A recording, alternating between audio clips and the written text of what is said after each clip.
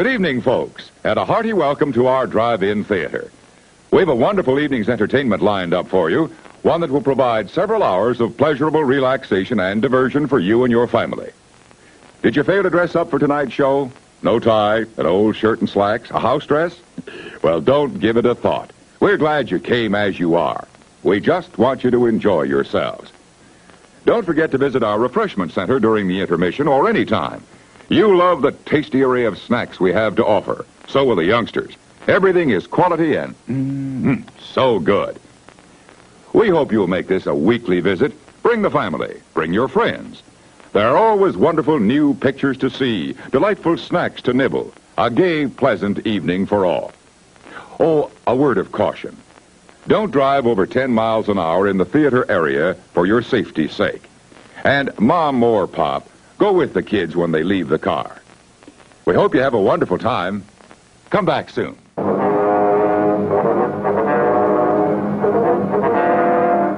In the files of the Central Bureau in Washington, D.C., there is a story so strange in its implications that it defies ordinary classifications. Time 719. An unidentified object was picked up 200 miles southwest of Point Barrow, Alaska. Height 75,000 feet. Estimated speed 5,000 miles per hour. White warning. 754. First interceptor flight airborne. Point of interception 80 miles due west of San Francisco, California. 755. Unidentified object past point of interception. Red warning.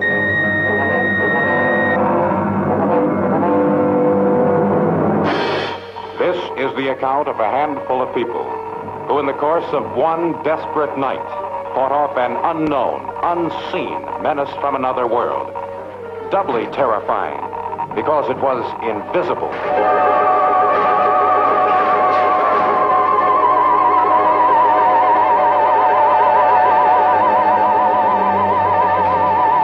Is that you, Doctor?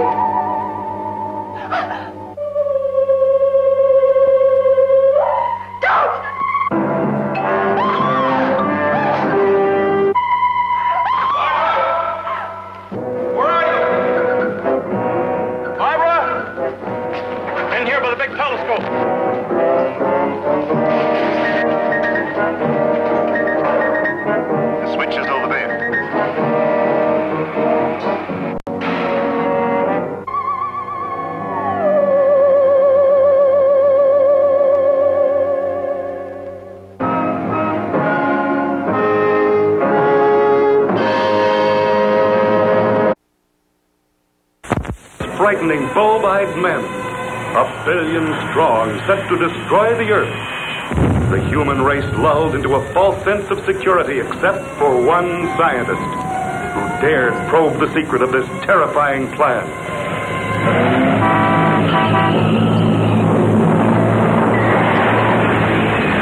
They're here, they're here, they're going to destroy us. It's all right, Dr. Martin. You're with friends. You'll be all right. They'll kill everyone. We've got to stop them! Easy, Doug, easy. Who are you? A scientist, like yourself. Where do you come from? From a planet, yet unknown to you. I'm getting out of here. Stay where you are.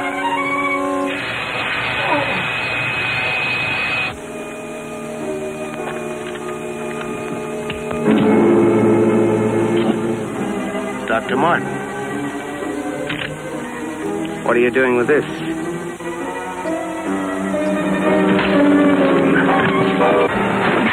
Back or I'll kill him. Go on, get back. Do as he says. You'll see an amazing succession of staggering scenes. Strange monsters, giant reptiles, and astounding marvels of science yet unborn.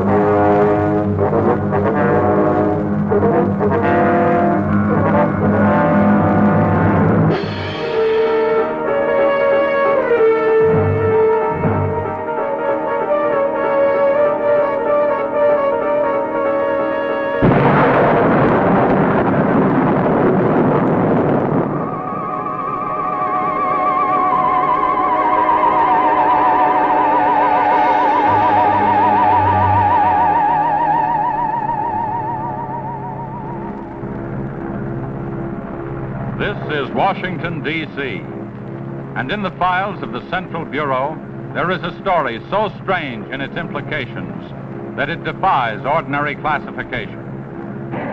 It is the story of a handful of people who, in the course of one desperate night, held back a wave of panic and pandemonium. It began after sundown, time 7:15 as Flight A Coast Patrol from Travis Field was returning to base. When the nightly Air Force transport pointed north toward Japan via the Great Circle route. While at sea, the Navy and Coast Guard maintained their usual round-the-clock vigil. And from the equator to the Arctic, the radar network swept the skies with eyes that never sleep. Time 719. An unidentified object was picked up 200 miles southwest of Point Barrow, Alaska. 727. Unidentified object confirmed at Fairbanks, Alaska. Heading south southeast, 170 degrees. Height 75,000 feet.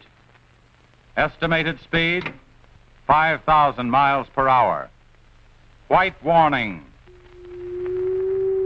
739. Unidentified object 200 miles due west of Vancouver, British Columbia. Course 170 degrees. Height 60,000 feet. Estimated speed down to 3,600 miles per hour. Yellow warning. 754. First interceptor flight airborne. Point of interception 80 miles due west of San Francisco, California. 755. Unidentified object past point of interception. Red warning. 811. Morro Bay, California. Height 50,000 feet. Estimated speed, 2,000 miles per hour. 815, Santa Monica, California. Height, 10,000 feet. Speed, 1,200 miles per hour. 818, all traces of unidentified object gone. Red warning lifted. By 825 at the Los Angeles branch of the Communications Commission, reports of strong interference with radio and television reception began to pour in from the beach area. The monitors went to work immediately. Mobile units were ordered to converge on the vicinity of the disturbance. Pinpoint direction finding devices began to trace the trouble to its source.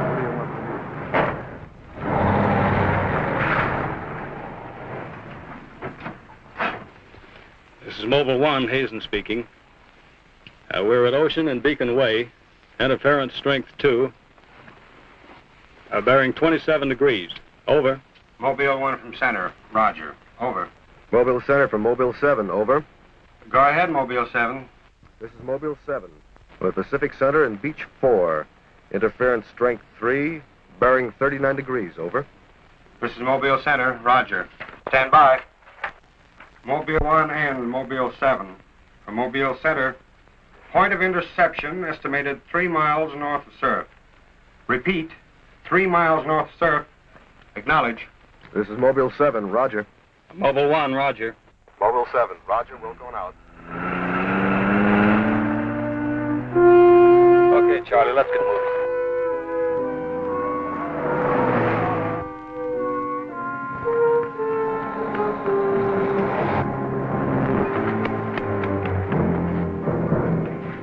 Yes, what is it? Take me to a phone quick. I need an ambulance. What's the matter? My husband and Pete out there in the picnic grounds just above the beach, they've been hurt. Well, this is the communications car. I'll phone it in from here. I'm Mobile 1 to Central, over. Did you make that out, Charlie? Not a word. I'm Mobile 1 to Central. I can't reach you. Repeat. They must be getting us all right. I'm Mobile 1 to Central. Have an ambulance sent to beach at Surf. Emergency. Two men hurt. Acknowledge. Roger and out. I'm sure they'll be here soon now. Tell us what happened. Oh, this man, he just kept coming at us. It was awful. Who? I don't know. He was wearing a suit like a diver. Hurry, please. They're hurt. Charlie, you better wait here. I'll go down and take a look. The young woman's hysteria became obvious as they reached the picnic grounds at the beach. There was no sign of the mysterious intruder, and little could be done for her husband and their friend until the ambulance arrived.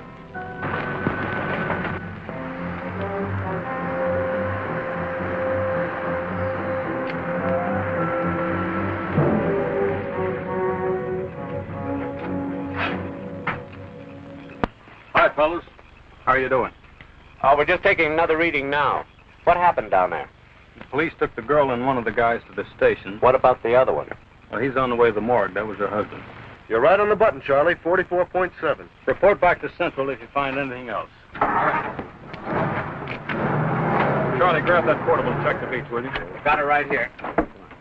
I'll pick you up right here in about an hour. Where are you going? Police asked me to drop by the station and sign a report. I'll see you later. If you don't, you know where to look for the body.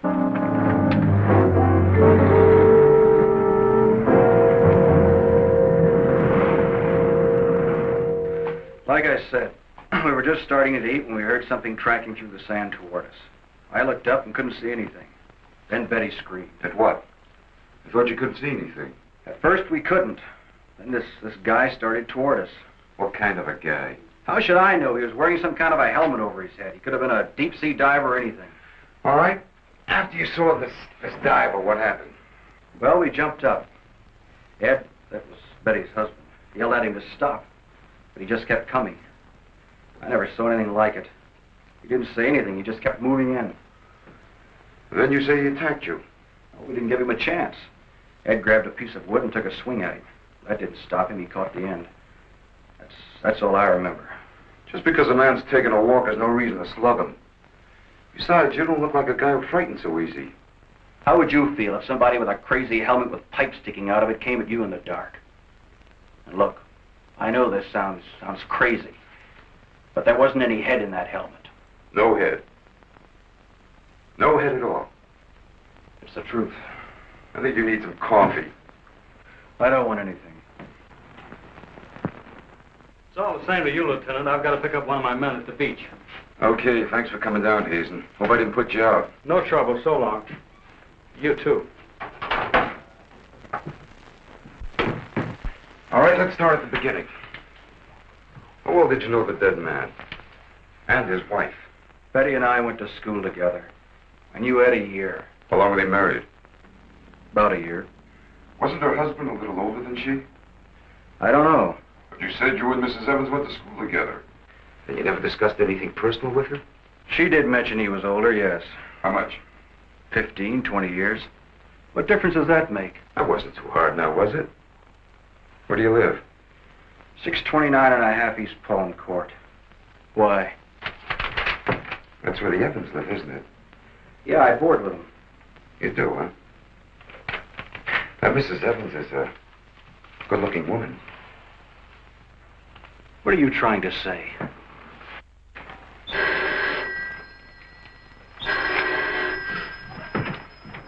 Lieutenant Bowers. Where? Yeah, I got it. I'll leave right away. You've Been on a murder. Near the beach. Keep an eye on this guy until I get back. Where are you? You'll stay right where you are. At least until Mrs. Evans feels well enough to talk. What do you want from her? Oh, I just want to see if your story checks with hers. After all, you went to school together, remember?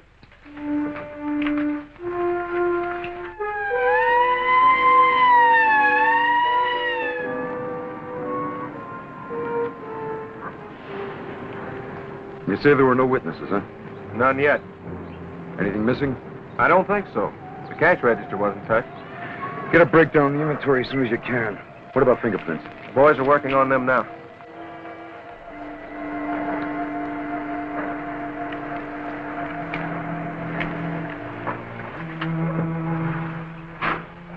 Sorry I'm late.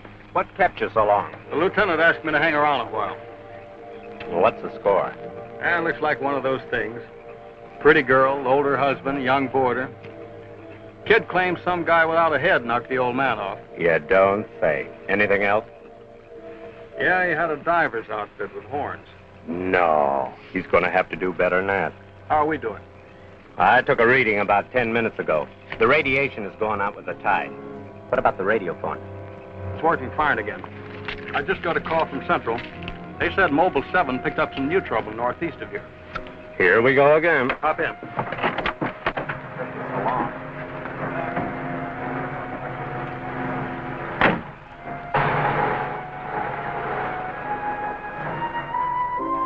Reported this murder? There he is there. He lives next door. His name's George Nelson. Hey, Mr. Nelson. Yes, sir. Come here, will you? I'm Lieutenant Bowers, homicide. You found this buddy? That's right. He must have just locked up for the night when this happened. How do you know that? Well, he usually does around this time. What were you doing here? I was sitting home watching the fights on TV, and all of a sudden the thing started acting up. What has that got to do with it? Well, you don't know the set. You know, it wouldn't work at all when I came home to supper. Then all of a sudden it cleared up fine. So I thought, well, I'll get set to look at the fights again, and all of a sudden out it goes again. So I thought maybe the battery station down here was overcharging the circuit, and so I came down to take a look, that's all. Hey, don't you ever quit work? What's up this time? Another murder? What are you doing here, Hazen? Same as before. Still trying to track down that signal in the interference. Hey, uh, does that stuff work on TV, too? Well, it has been for hours. What'd I tell you? What's the matter? Seems to set one on the blink. Well, at least we know we're on the right track. How'd you make out with that boarder? You're still sticking to her story. The guy had no head. Well, I'll be seeing you. So long. Right. Watch out.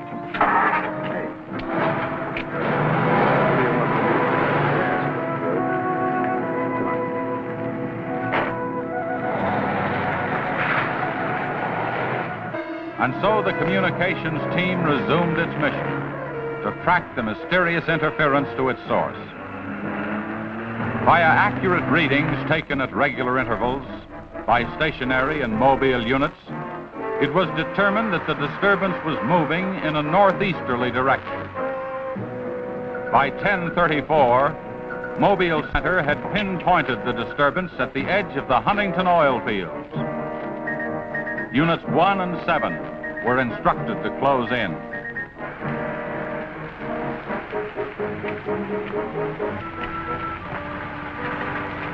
Hey, Charlie, do you see what I see? Yeah, the oil field. Let's hope our trouble's burning up. Well, there's only one way to find out.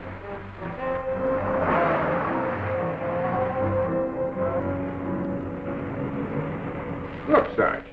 Two murders and an explosion in one precinct is big news. Now, come on, you can't pin it all on the young boarder. Or can you? Very funny. Yeah? I'm Hazen of the Communications Commission. Oh, the lieutenant's waiting for you. Thank you.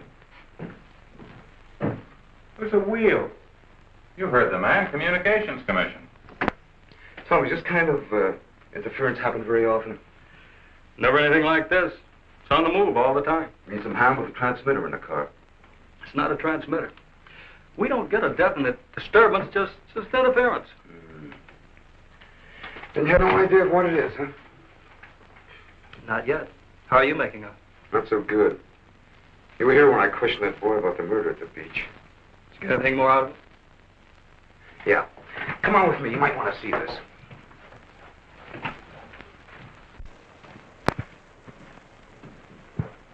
Ah, I see you're just about done. Thanks, you can go now.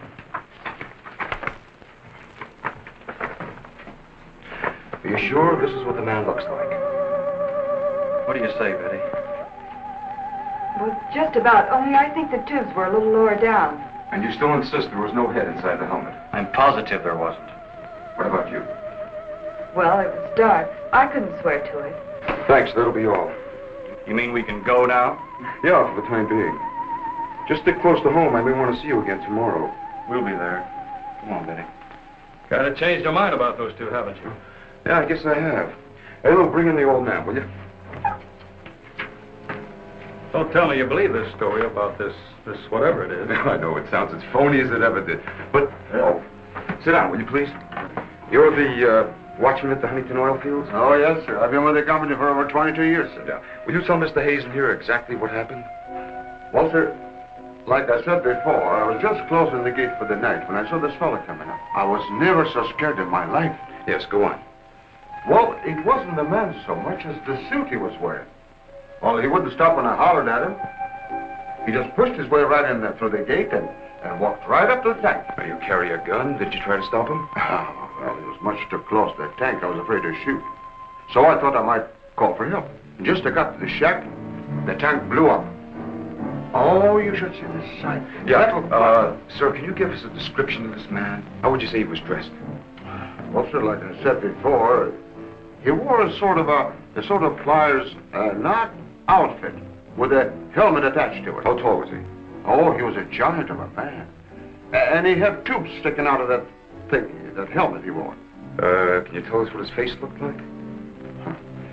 Well, sir, though he got pretty close to me, I could swear the man had no face. Now, if you saw this man again, would you recognize him? I mean by his outfit. Oh, I'll never forget that sight if I live to be a hundred, sir. Would you say this is the man? Wait, sure, that, that's him. Thank huh? you very much. You may go now. All right, sir. Thank you. Well, Hazen, what do you say now? Beats me. The descriptions check all right. This could be some kind of flying suit. High altitude equipment. Yeah, that's what I've been thinking.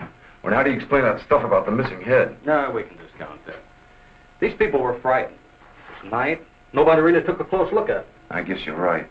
But whoever he is, that outfit doesn't look like one of ours. Of course, he could have been dropped by parachute. You mean sabotage? Worth checking. I think we better wire a report to Washington, and see what they say. Oh, you can use our teletype. I'll tip off the LA police, police to be on the lookout for something unusual. Hey, wait a minute. What about the press? Oh, I don't think they know too much now. We better keep it that way for a while at least, till we find out whether our friend is still around here. Well, if he is, I think we can find him for you. My hunch is that he's he's carrying something around that's causing all this disturbance, whether he knows it or not.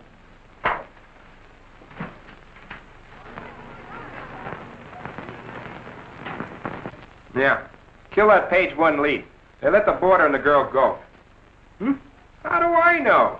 Maybe the lieutenant thinks that the guy in a flying suit knocked off the husband. Mm-hmm. Nah. No, no, not a chance. Not a chance of uh, an exclusive on that picture.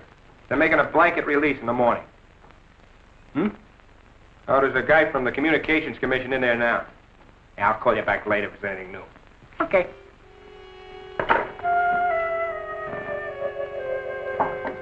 Come in. Sorry to interrupt you, Lieutenant. Yeah, what is it, Jim? There's a teletype cam for you. Oh, thanks, Jim. We're waiting for it. That was fast.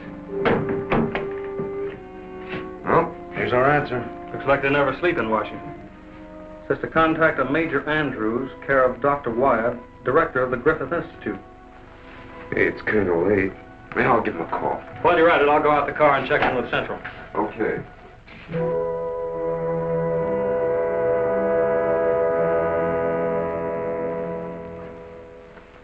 Well, that's the story up till now. We got in touch with Washington. They told us to contact you here. Hmm. Very interesting. What do you think, Doctor? When I see something like this, I understand why you gentlemen might have thought sabotage was involved. Lieutenant, are you sure there were no traces of this saboteur, this X-man, found after the explosion in the oil field? Fire department went over every inch of the area. Didn't come up with a thing. Well, then there's a strong possibility that he might have perished in the explosion itself. I doubt that. We're pretty well convinced this man is carrying something that's responsible for all the signal interference.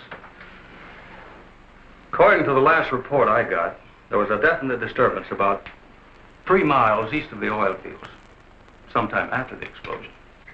Well, then if he's alive, you should be able to keep an accurate check of his whereabouts. Not that easy. As a matter of fact, we lost contact about three quarters of an hour ago. Maybe he realized you were trailing him and got rid of whatever he had that was causing the disturbance. In that case, there's nothing much my department can do to help you. And I guess it's up to us. Unless you have some suggestions. Well, let me think out loud for a minute. It might just be that what we've been talking about so far, and this phantom, as we'll call him, ties in with what the doctor and I have been discussing. That is very possible.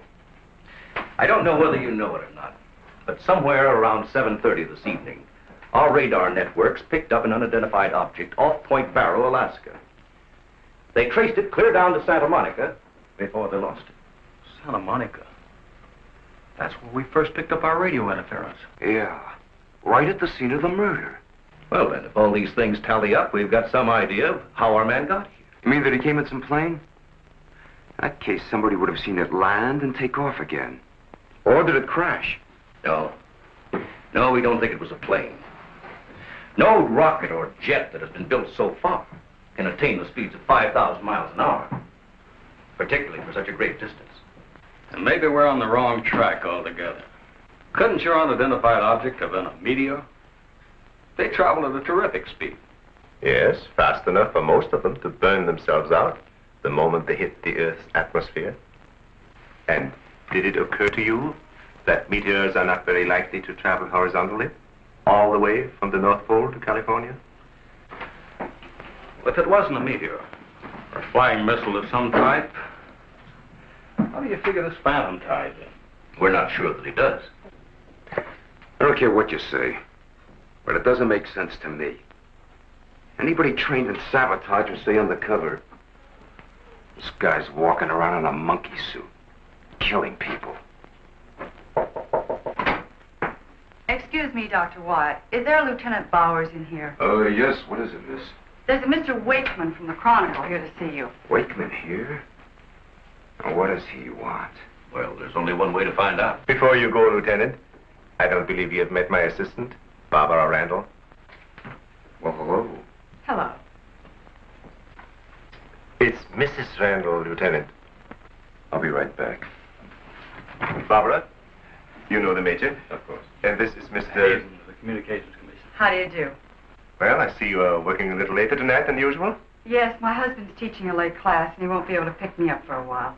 Besides, I had some work to do in the lab. Well, at least you'll have lots of company. All right. So I shouldn't have come up here. But I gotta get your angle on this beach murder. And your whole department is shut up. Look, Wakeman, will you stop bothering me? There's nothing to say. If you got an exclusive story from that Evans Damon or Board, then you know as much as I do. Yeah, but that does, still doesn't explain anything about the guy without a head. Come on. Who is it? Your guess is as good as mine.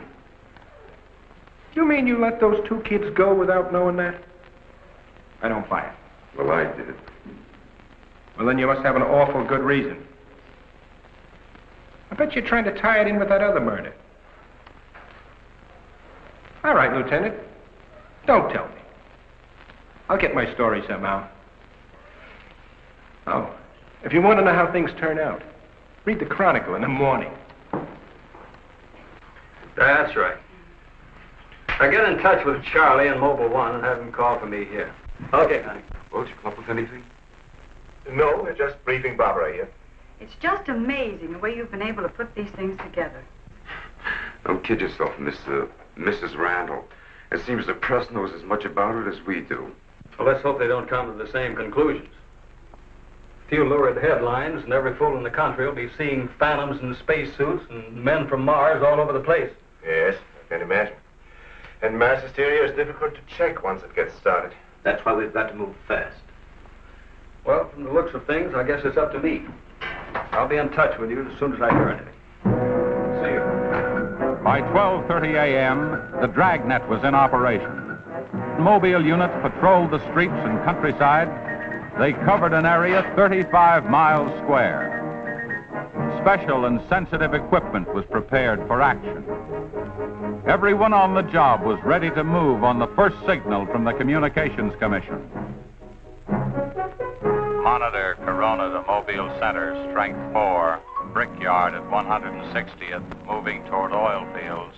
Contact your units. Over and out. Units 1 and 7 from Mobile Center. Units 1 and 7 from Mobile Center. Strength 4, interference at 160th in the oil field. Moving due east. Close in. Repeating, strength 4, interference at 160th in the oil field. Close in.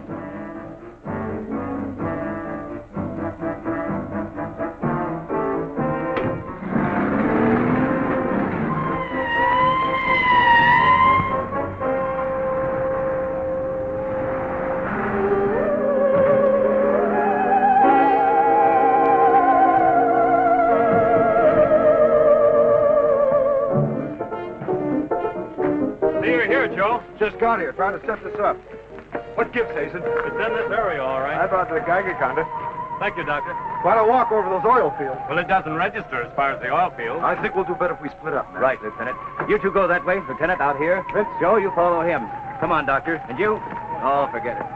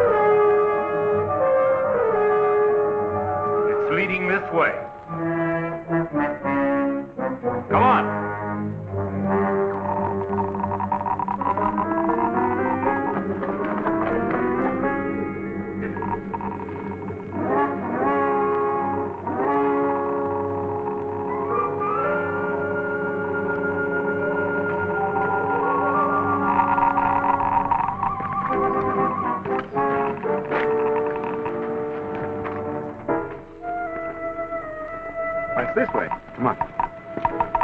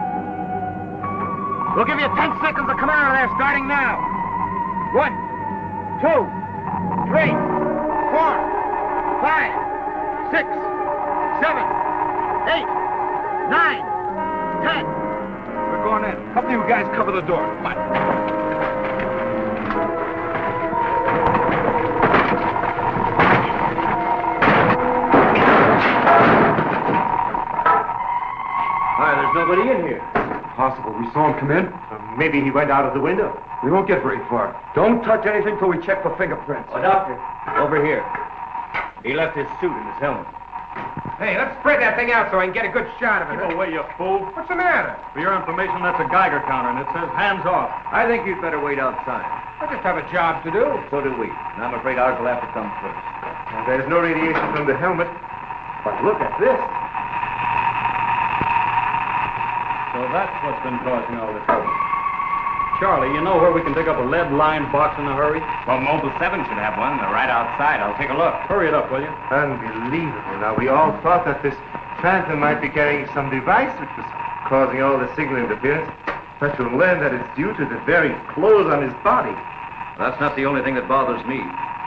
Did any of you get a good look at his face? Not me. He's too far away. Well, I did. Unless I'm mistaken, that helmet was empty. Say, where am I going to put this stuff? Oh, put it in Dr. Wyatt's station. Yeah, we take it back to the Institute. Right. Quiet down, Z. No, that's all right. You can handle that.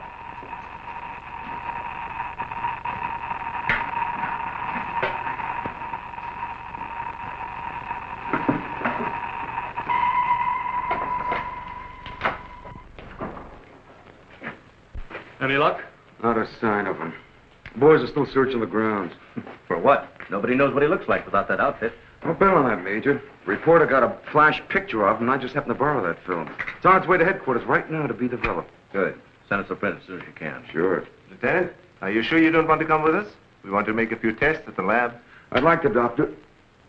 But you know the situation. I gotta get that guy. Let me know how you make out, will you? Yeah, we'll do that, sure.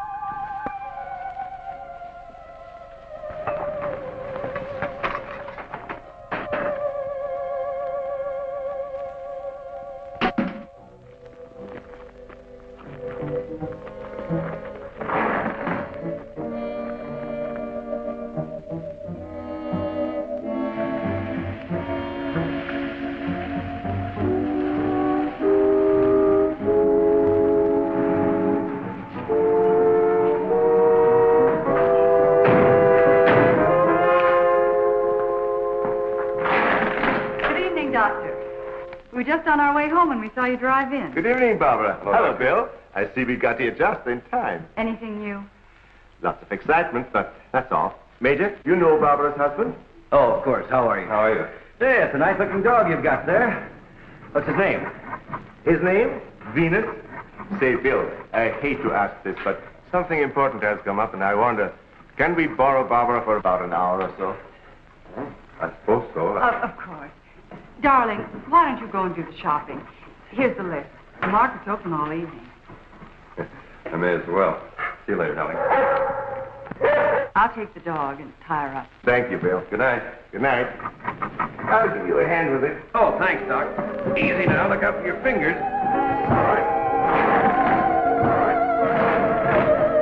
Look out now. Don't drop it. Venus,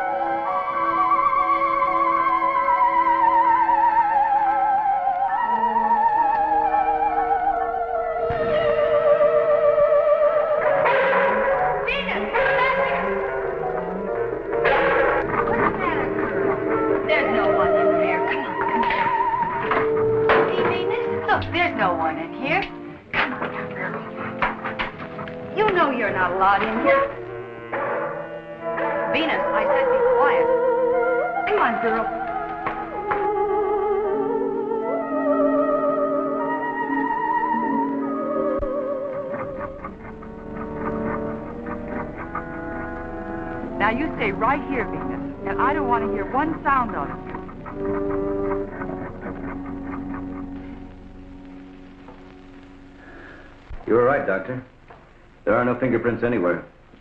What's all this? Hey, don't touch anything. You better put some gloves on. Our friend, Mr. X, left this suit at the oil refinery. You mean you were that close to him and you didn't catch him? I'm afraid so. That's up to the police now. Hand me those shears. I want to cut up this, this material to work with it.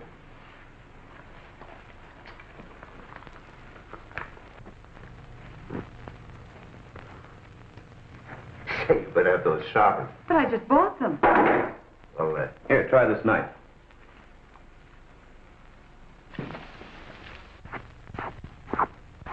that still won't cut. Let me try.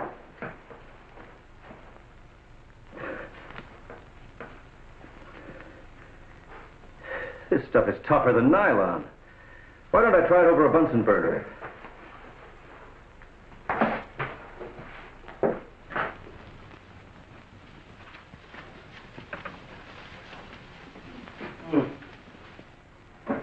Doesn't burn either. Let's take a look at it under the microscope. Look, it's, it's magnetic. Magnetic. Here, I'll- Radioactive. And apparently indestructible. Thank you.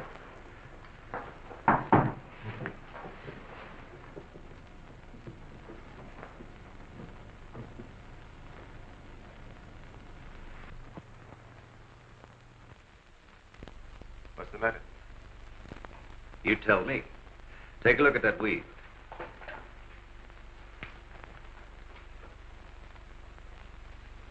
What weed?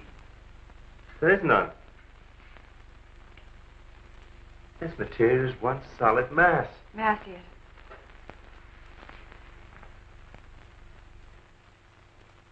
Why, you're right.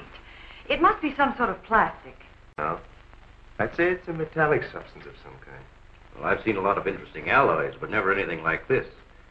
Let's try an acid test. All right. Go ahead. Careful now. We'll only take a drop or two. It repels acid like a raincoat repels water. Why, there's no reaction. Well, Major, this looks as though we were going to be here for a long time.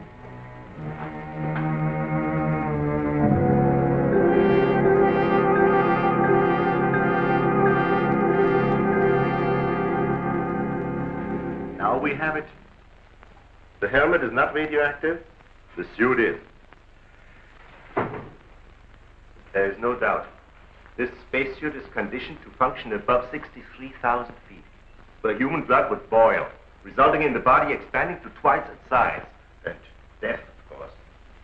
I know. And it must withstand pressure and counterpressure. Also, it must be so supercharged it can function in thin atmosphere. Now, let's see what it is that is left in this breathing apparatus. Well, how are you doing? The gas from the helmet tank breaks down to 11% methane. Ordinary marsh gas? What's the rest of the formula? Oh, that's where I'm stuck. I can't figure it out. It just doesn't respond to any of the usual tests. Well, how could anyone exist on that combination of gases? You and I couldn't. But apparently someone can.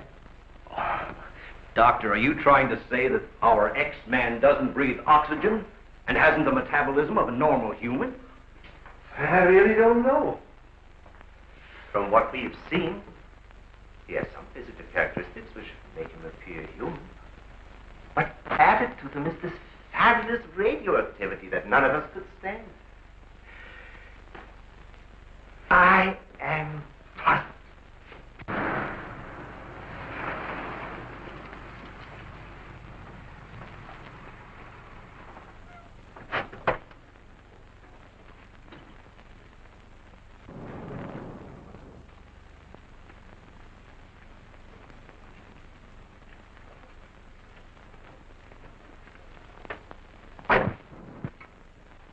The answer lies right here in this helmet.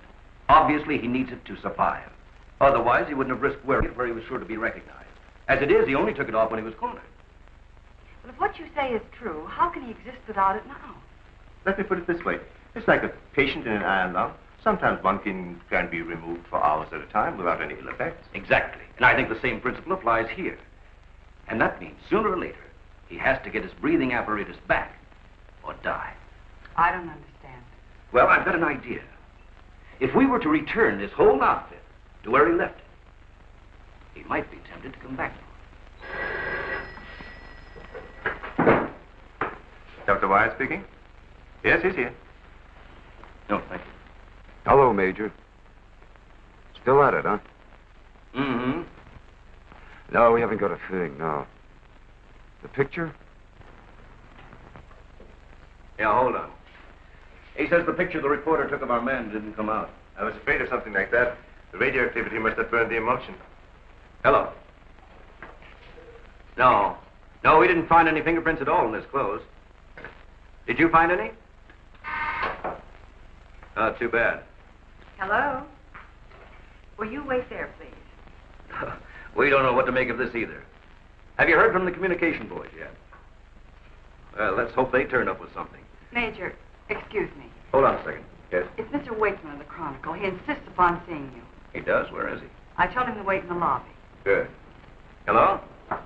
And it's our friend from the press is here.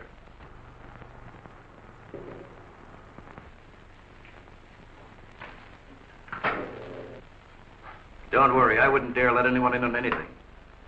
At least not till we get something concrete. Right. All right, I'll see you later.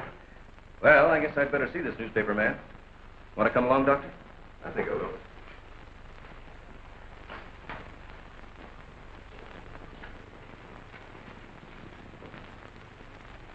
Oh, hello. Remember me? Certainly, yes. A nice lot of gadgets you got here. We think so. What's on your mind? Well, I was wondering if you might let me take a couple of pictures of that suit you brought up here. I'm sorry, we can't do that. Oh. Well, now look, I got a wonderful picture of the guy running in the shack, and the lieutenant stuck his nose in my business, and what do I get? A blank.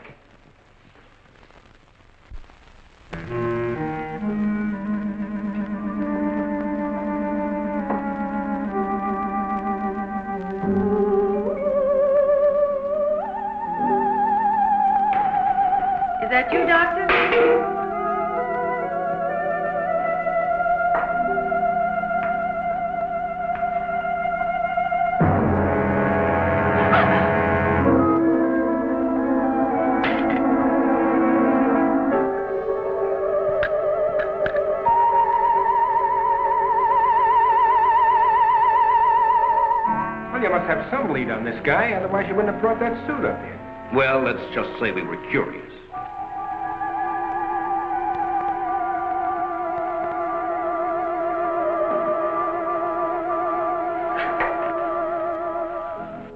Hello, Bill.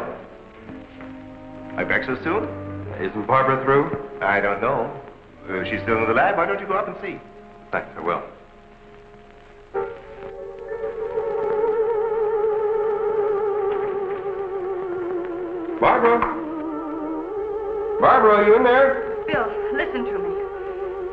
I'm not alone. Someone is in here with me.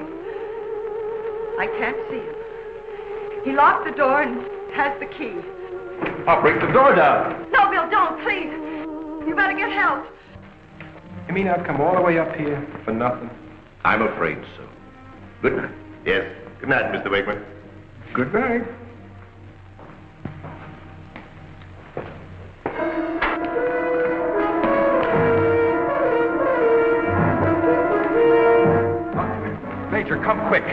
What's the matter? What's the matter? Where's Barbara? In the lab. The door's locked and there's someone in there with her.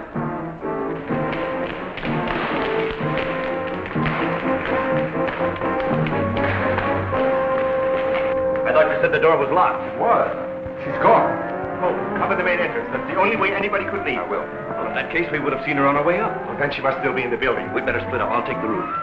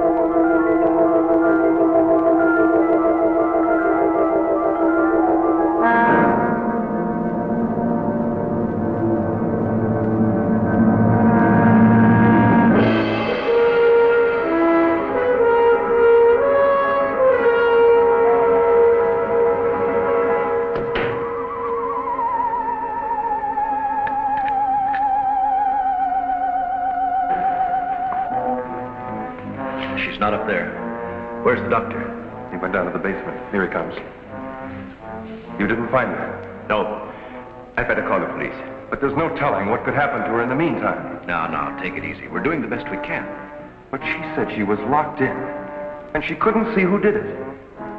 Can you explain that?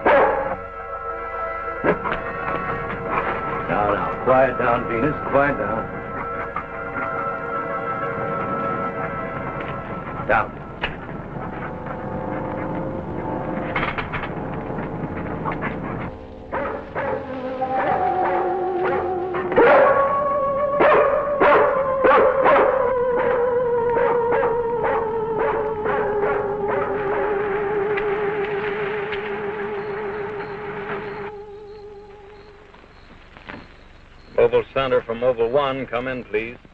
This is Mobile Center. Go ahead. Get hold of Major Andrews or Dr. Wyatt at the Institute. I want to talk to either one of them. I will do. Stand by, Mobile One. Dr. Wyatt speaking. Oh, yes, Mr. Hazen. Yes, we're still at it. Uh, lots and lots of excitement, but nothing definite yet. Have you anything to say? The trouble seems to be just about gone. We get a flash in the direction of the observatory once in a while, but I figure that's because of the outfit you're testing. Yes. Lieutenant Bowers ought to be here any minute. Of course. How long will it take you to get up here? Good. See you then.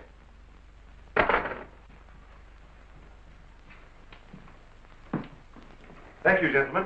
Put it down here, please. Barbara, that cord in over there. Now you're going to see. I have to resort to ultraviolet light in order to show you what little there is left of the spacesuit.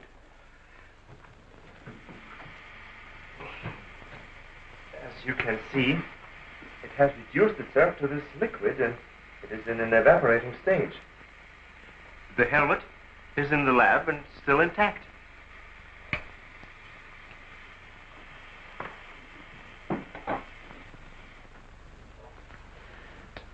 This is amazing.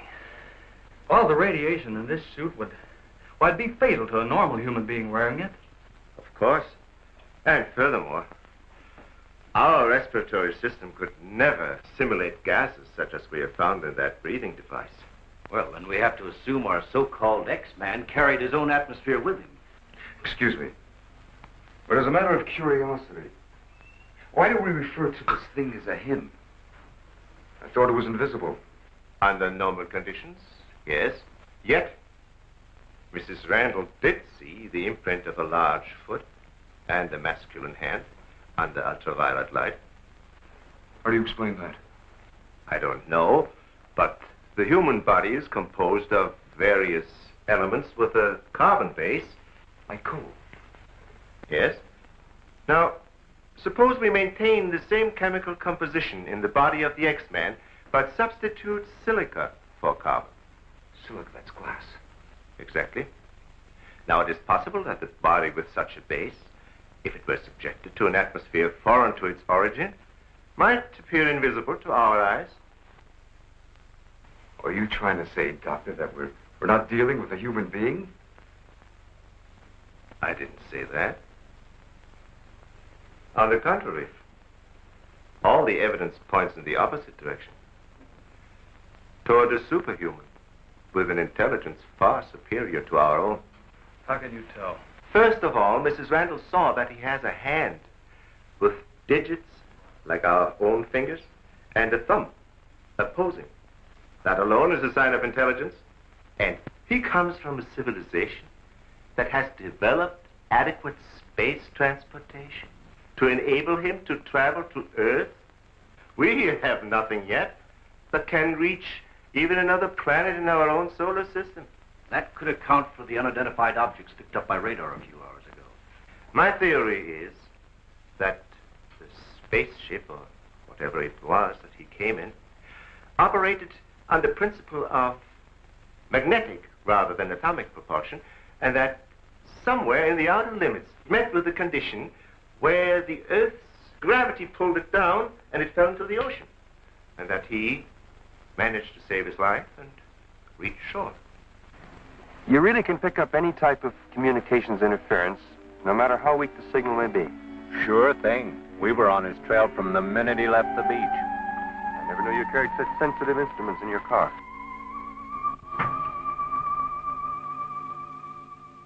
What you told us is very interesting, Doctor.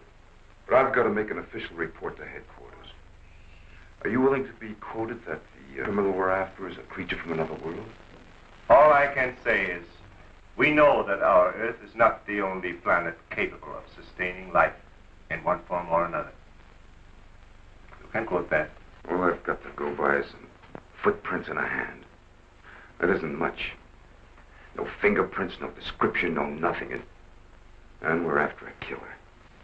Has it occurred to you that our X-Man has no apparent motivation for his acts? And might therefore not be an intentional criminal at all? You have a point there. Hey, wait a minute. Come to think of it, the young boarder we suspected, he did say that the girl's husband threw the first punch. So? So that could have been enough to provoke the strange creature. And the same could have happened at the second murder. Sure. What about the fire in the oil fields? Evidently, our man sensed the presence of some gases, which he thought might be utilized in his breathing apparatus. Yeah, that could account for his presence at the oil refineries, where something went wrong, causing the explosion. Too bad he got wise to us and took off his uniform, or we'd have been able to catch up with him by now.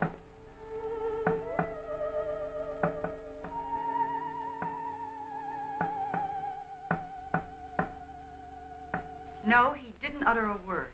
But I'm convinced he was trying to convey a message to me. He kept tapping out a code. I, I wrote it down. Let me see that, please. Doesn't make sense. Well, it may be based on some mathematical system we know nothing about. But he was trying to tell us something. Why did he run away?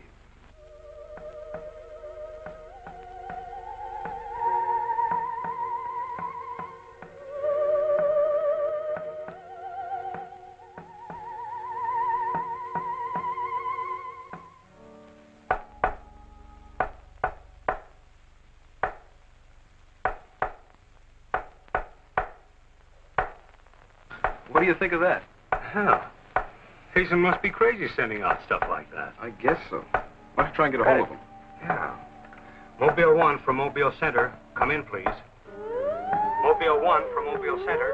Come in, please. Mobile 1 from Mobile Center. Come in, please.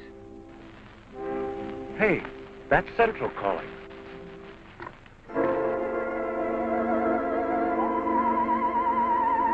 You better stay here by the car. I'll go tell Hayes. Yes, Colonel Powell. Of course, I'll mail you a complete report first thing in the morning. Yes, sir, thank you. Oh, and I'm I'm awfully sorry to disturb you so late at night. Right, good night, sir. He's around here, this invisible guy. He was in the car. How do you know? I was talking to Randall outside when I heard Central calling. Before I could get over to answer, I saw the door open and shut by itself. He's desperate. For all we know, he could be trying to send a distress signal to his home base, wherever that is. Well, let's hope he doesn't get through. We've got enough problems with just one of those guys. Well, at least we know he's surrounded the vicinity, and it's obvious what keeps him around. Of course. He's got to come back for what little gas there is left in his helmet. And when he does. Oh, please, the most important thing is to take him alive. If we can only make each other understand, there's no telling how much science can profit. I'll go along with that, Doctor. But I've got to make sure that once he's cornered, I'll be able to hang on to him. I think we're all agreed on that.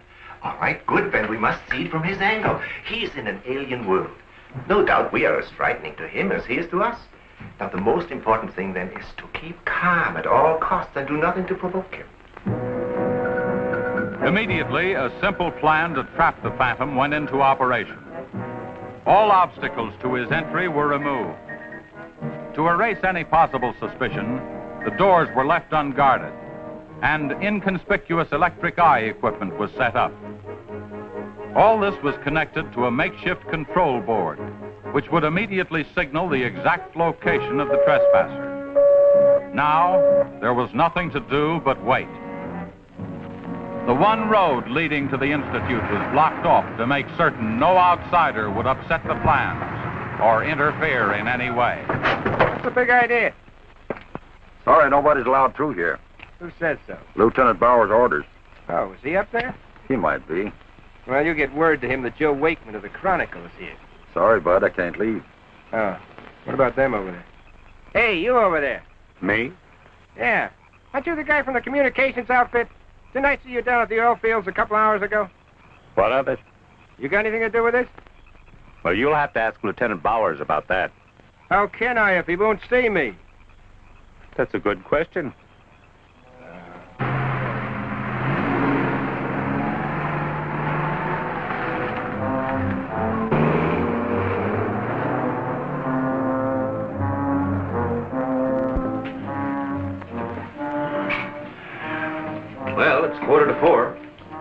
Sure taking his time. Time is cheap. Yeah, well, how long can you sit on the edge of your chair like this? All year if we have to. I only hope this mechanism works. It will, unless he flies in between the wires. I wouldn't take any bets that he can't. Well, if everything else fails, we still have Venus here to help us. You know, I'm certain she sensed his presence before. That's why she carried on so.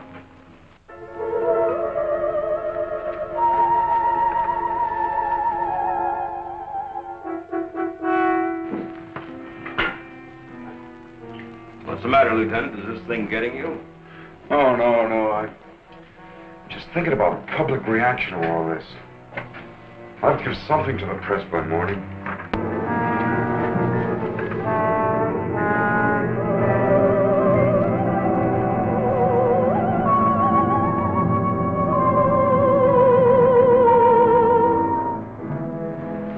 You know, ever since I was a kid, I wanted to be a pilot. Then after I got my wings and had had 75 missions, I thought I'd seen everything. Now, after all this, I know I haven't seen anything. He's here.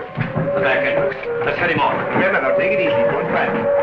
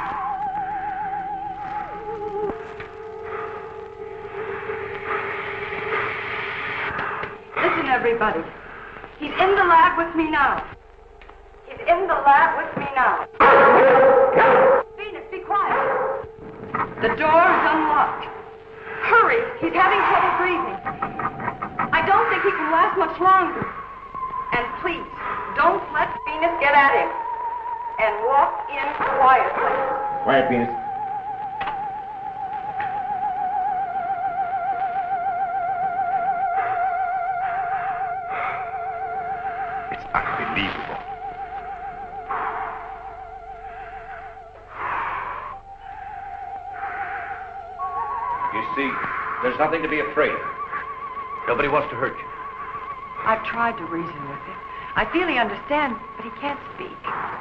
Wait a minute. I'll try his code. I think I remember it right.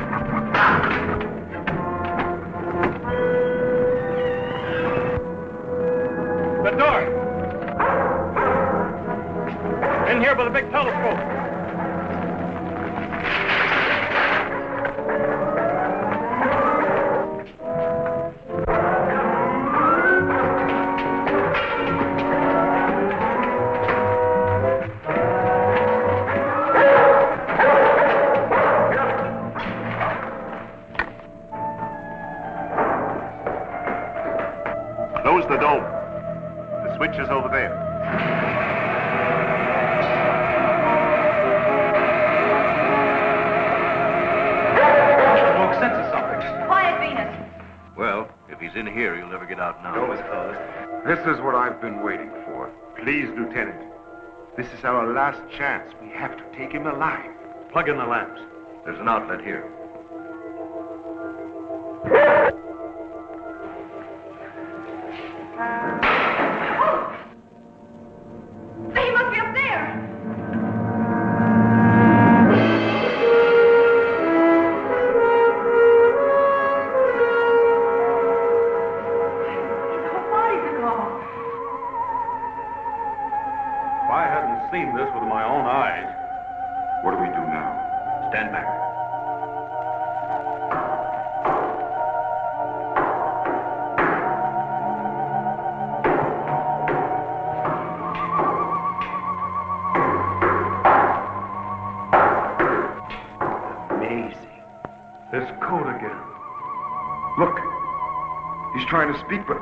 is coming out of his mouth. Look at Venus. She acts as though she hears him. Yes. Dog can hear sounds that we can. His voice must be beyond the range of the human ear. Maybe he's screaming. He's suffocating. The glow, it's almost gone.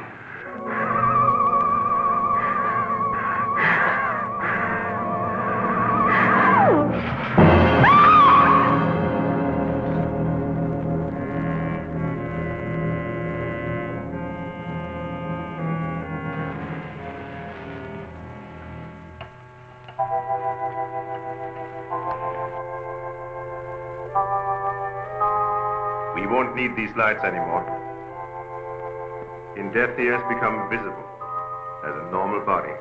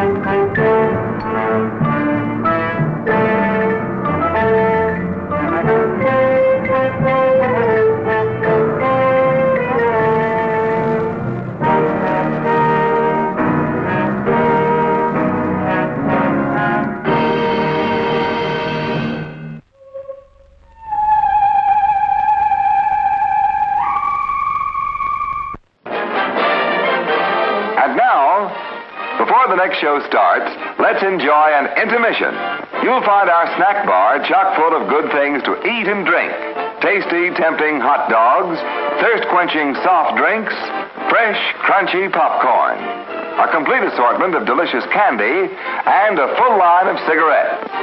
You've plenty of time, so visit the snack bar now. A tasty treat will double your enjoyment of the show. For your convenience, we shall keep you informed of the remaining intermission time.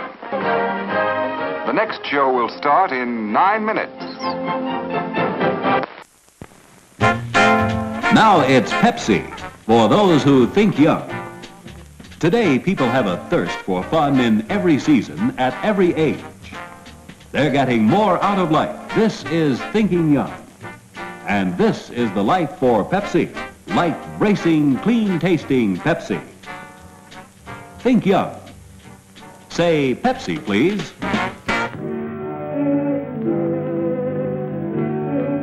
Soledad Flats, Nevada. The time, 6.15 a.m.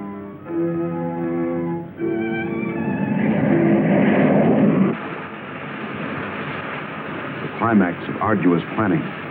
Operation A-bomb test underway. Detonation minus two minutes. Military personnel, from buck private to top-ranking brass. Men from research and news services move into position. The bomb-carrying plane makes its initial run. Radar with eyes that never sleep. Special equipment go into operation. All orders are carried out with split-second precision. Warning is given to all commercial aircraft to stay out of the test area. Detonation minus 70 seconds. To the air, carrying sensitive instruments and nuclear scientists, ready to record the radioactivity from the closest possible vantage point. Detonation minus 40 seconds. The bomb-carrying plane nears the target. Tension mounts as all members of the flight crew anticipate the task to pinpoint the bomb on a tiny circle of Earth below. Now the plane wings its way toward ground zero. Warning signal is sounded. All observers prepare for the blinding flash of the bomb. Detonation minus 20 seconds. Command of the plane is given to the bombardier. Ground zero dead ahead. The key man now goes into action. Bomb bay doors open. Detonation minus 10 seconds. 9, 8, 7, 6, 5, 4, 3, 2, 1, 0.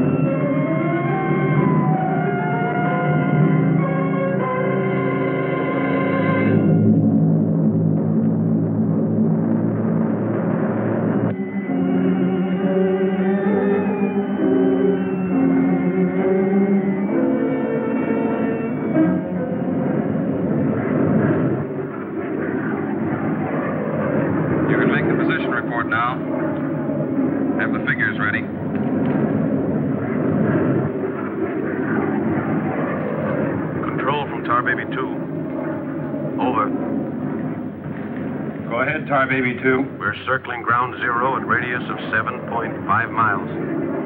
Altitude 1, 5, 0, 0, 0 feet. Airspeed 4, 5, 0. Stand by. Roger and over. She's all yours.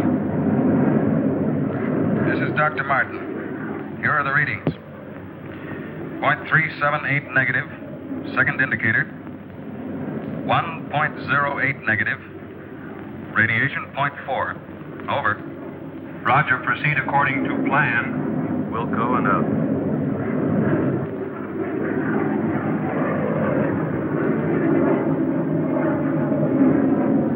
Take her in closer. Okay, Dr. Martin.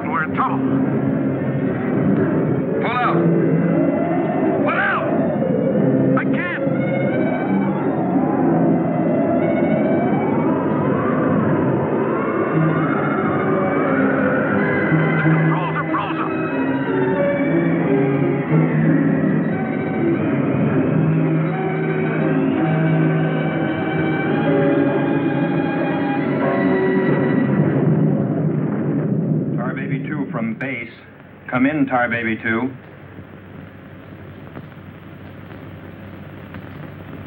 Come in, Tar Baby 2. We've lost contact, sir. Baker 2, sir. Yes, sir. All patrol craft in test area. This is a Mayday. Repeat, this is a Mayday. Proceed to segment Baker 1-7. Search for Tar Baby 2.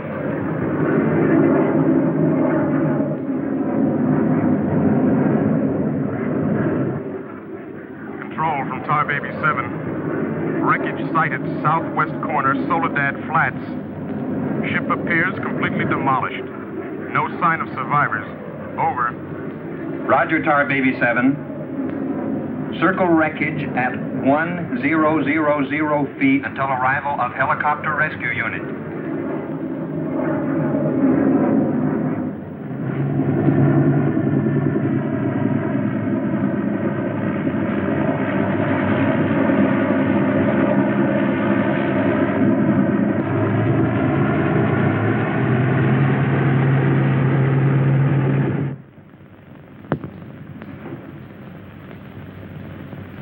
Uh, Dr. Kruger, Colonel Banks speaking. Would you mind coming into my office right away, please? Thank you. As I was saying, our search planes found the wreckage of your husband's plane, Mrs. Martin. A rescue crew was sent out, but But they must have reached the wreckage hours ago. Why can't they find him? I honestly don't know, Mrs. Martin. Yes, come in. Ellen. Kurt. Colonel Banks. Isn't there any hope? I'm afraid not, Mrs. Martin. They found the pilot dead in the wreckage. And according to all reports, no one could have bailed out. I'm terribly sorry, Mrs. Martin.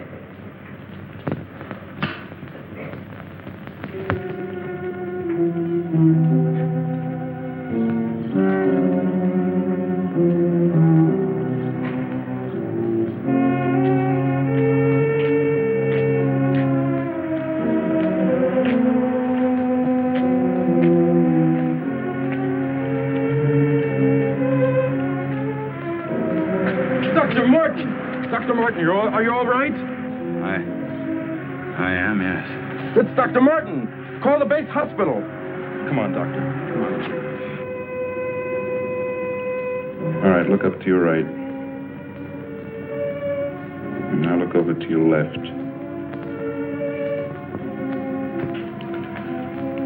All right, get up now.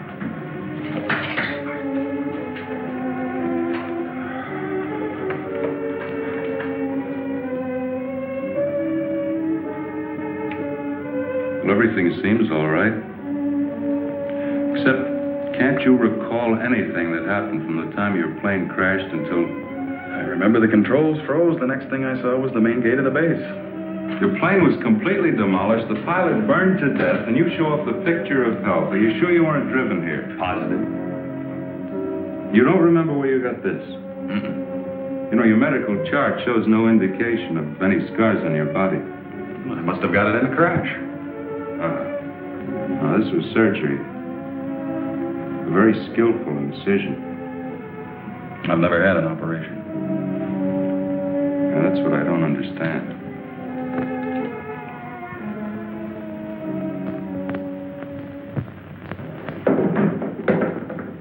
Mr. Briggs.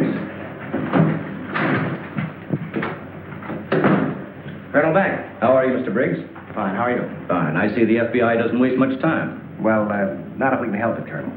Oh, you know our base surgeon, Major Clift? Sure. How have you been, Major? How do you do? Uh, well, I guess you gentlemen have business to discuss. Oh, no, no. This won't take a minute. Sit down. Sit down, please, please, gentlemen. Cigarette. Oh, thank you. I understand you've already talked with Dr. Martin. I just left him. You know, uh, Colonel, um, according to my files, Dr. Martin is just about the key man on this nuclear project. Yes, along with Dr. Kruger, he is. Mm-hmm. Well, I know they're both good friends, and, uh, well, both have knowledge and access to top secret information. Well, that's very true, but that's no reason to suspect that Oh, they... we can uh, we can suspect anything, Colonel, until Dr. Martin accounts for every minute from the time of the crash. The shock must have caused a mental block. His mind doesn't want to remember the details. The, the origin of the scar on his chest, how he got back to the base under his own power. Did you ever stop to think that perhaps this Dr. Martin isn't really the Dr. Martin? What are you getting at? What I mean is that uh, this man could be an imposter.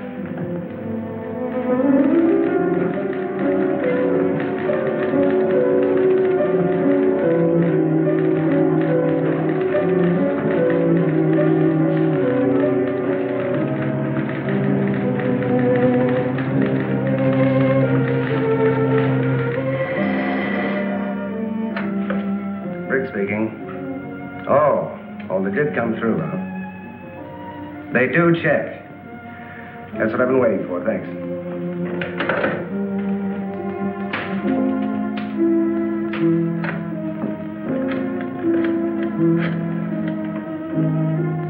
Get me Colonel Banks at the base, please. No, no, I'll wait. Oh, yes, Mr. Briggs. Any news on the line you were getting on Dr. Martin? Just heard from Washington. Well, I was wrong. This is our man, all right. His prints and description check right down the line. Now, here's what I suggest you do.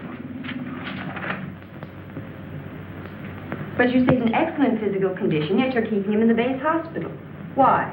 Mrs. Martin, you must realize that your husband is engaged in a highly secret work.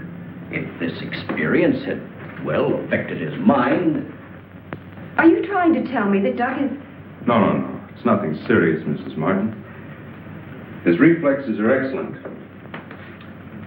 Except for that one lapse of memory, his mind is perfectly clear. Isn't that natural under the circumstances? Yes. Except for the question of the scar on his chest. I know he didn't have it before the crash. Well, I'm sure he didn't, Mrs. Martin. Uh, But you see, it would be impossible for a wound of this size to have healed so quickly and without medical attention. Well, you can't keep him here indefinitely. We don't intend to. Uh, we've asked you to come down here because we've decided to let you take him home, provided you can keep him quiet and he gets enough rest. I understand. Now we'll just have to take that vacation he's been wanting for so long. Vacation. To watch him, you'd think you never heard of one. yes, he must have asked me a hundred times when the next test was scheduled. He's anxious to take his own readings again. Well, he did have a key part in the planning of these projects. Well, is there anything he should or shouldn't be allowed to do? No. Except he does need diversion. Anything that won't upset or excite him. I see. Movies, bridge, drives, things like that. Well, you're the doctor now.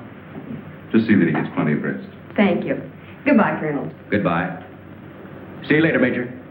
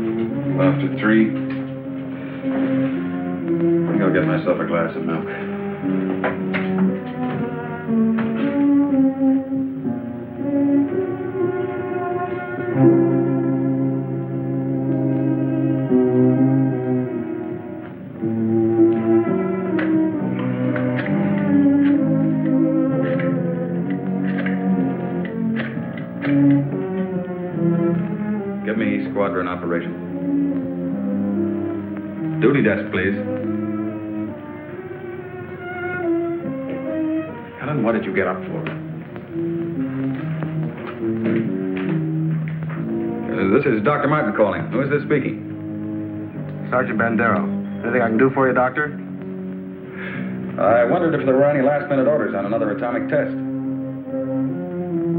What do you mean you can't tell me?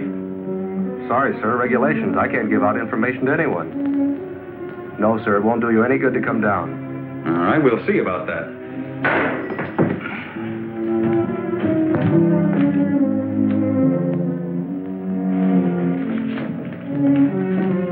I've got to get out to the base right away. Alan, don't you agree with me? I've spent months preparing for this series of tests, and no sergeant is going to push me around now. Well, aren't you going to say anything? No. Look, I know they're ready for another test, and I should be there. Can't you understand that they don't want you around for your own good? I don't need their sympathy. There's nothing wrong with me. Then why are you acting this way? You're all on edge. If you don't slow down, I don't know what's going to happen. You really believe that, don't you? If you won't take it easy for your own sake, please, do it for mine.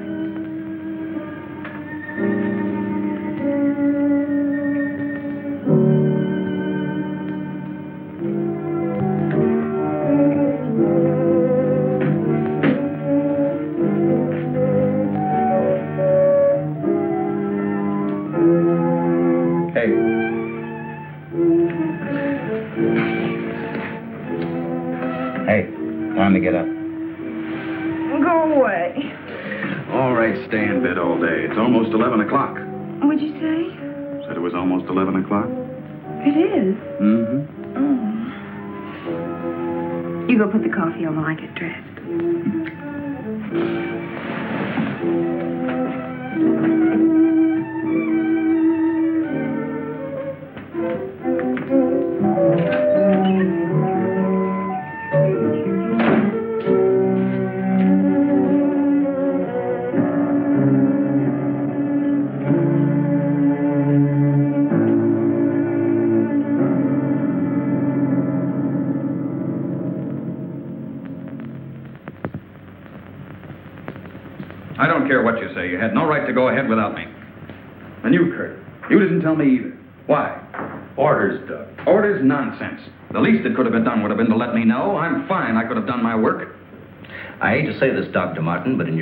State, you're not considered a very good security risk.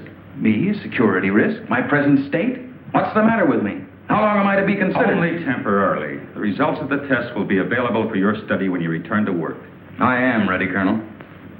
To us, you're still a very sick man. My advice to you is to go home and relax, as you were ordered. Relax, relax. And if I don't? Then you'll be confined to the base hospital till you change your mind. Now, what's it going to be?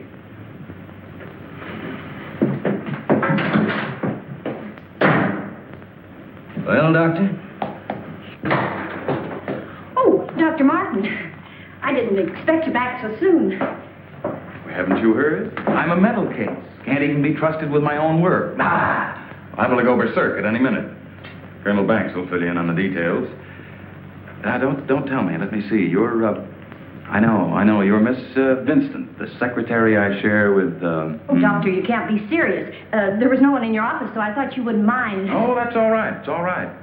As far as I'm concerned, you can take the rest of the day off. Are you sure? Mm-hmm. No, I don't really belong here. I just, uh, just came in to pick up a few personal things from my desk. Goodbye. Goodbye.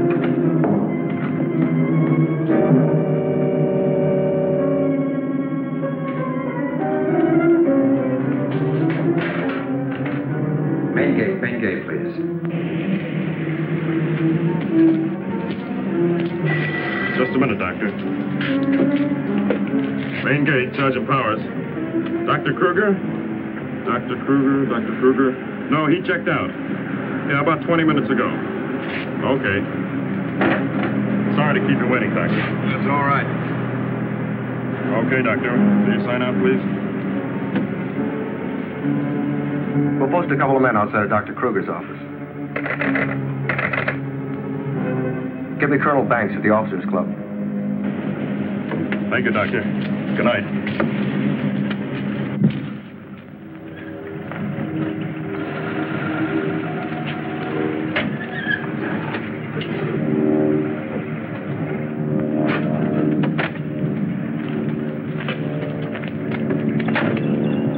Evening, Dr. Kruger. Yes? My name's Briggs. I'm from the FBI. Briggs. Briggs. Of course, I've heard of you. I wonder if you'd mind uh, returning to your office with me. What seems to be the trouble? Oh, just a few things we'd like to straighten out. Concerns me? Well, I'm afraid so, Doctor. Uh, take your own car if you like. I'll meet you there. All right, I will.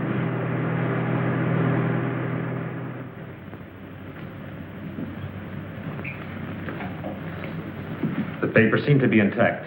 Is this all uh, classified information, Doctor? Of course. You know, according to security regulations, that vault should have been locked before you left. But I'm certain I did lock it. All right, then tell me this. Who besides yourself has access to the combination?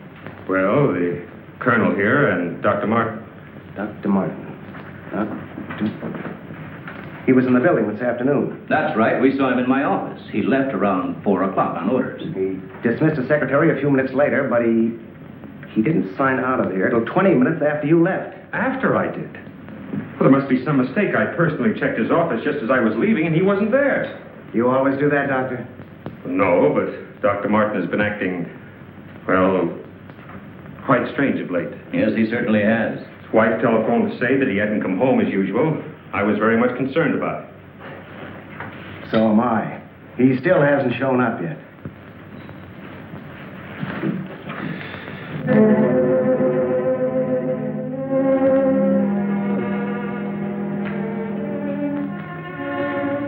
What kind of pipe tobacco do you use, Dr. Kruger? Me? Why, I don't smoke at all. Did you, Colonel? Cigarettes? What are you driving at? That's funny. How long has Dr. Martin been using this brand of tobacco? But I really don't know why. Now, Mrs. Martin, you say you have no idea where he could be at this hour. I know he's never been this late before without telephoning. Well, I hate to ask this, but have you ever had any suspicion that there might be another woman? Certainly not. I'm sorry, Miss Morton. Just why are you asking me these questions? Well, let's put it this way. Has he made any new friends lately? You know, people not in the usual group. No, the only people we've seen in months have been connected with the Institute. Excuse me. Hello? Yes, just a moment. It's for you, Mr. Briggs. Oh, thank you.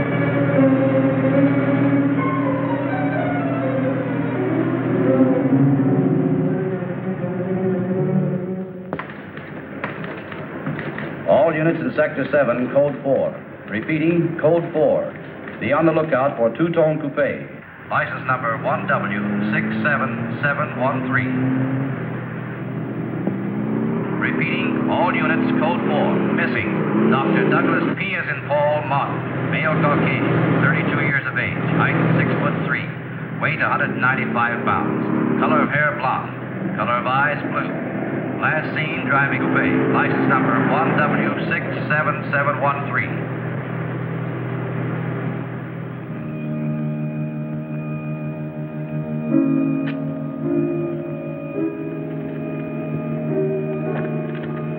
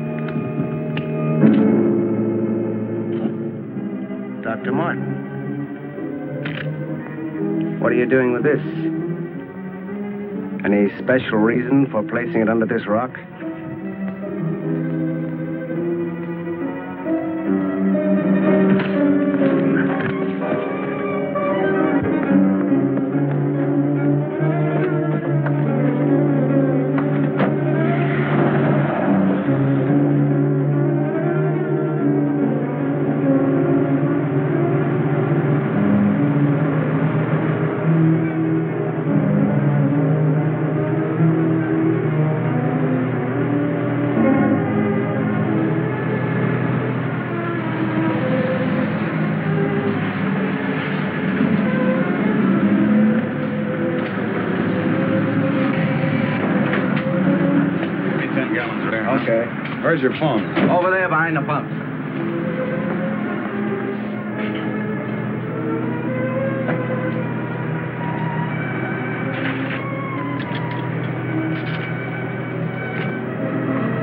Operator, give me Crestview 95359. All units in Sector 7, Code 4.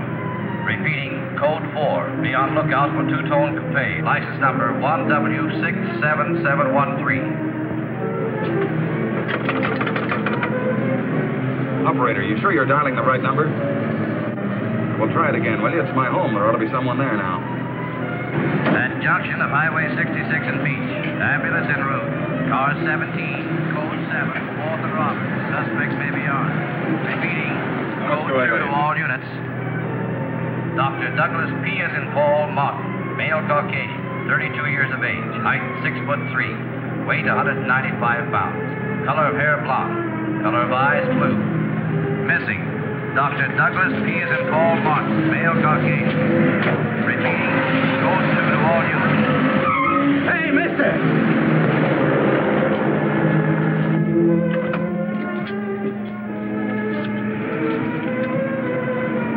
Operator, give me the police, quick.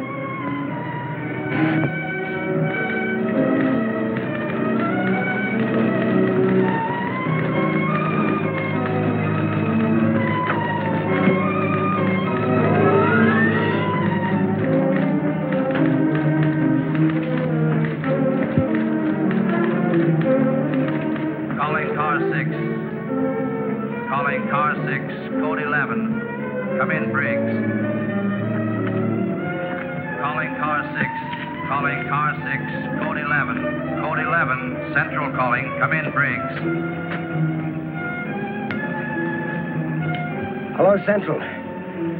Hello, Central. This is Briggs. This is Briggs. Come in. Subject, Dr. Douglas Martin, last seen in Route 61, heading toward North Junction. Stopped at gas station, corner of Ridgewood and Mills Road. Acknowledge. Roger. Briggs out.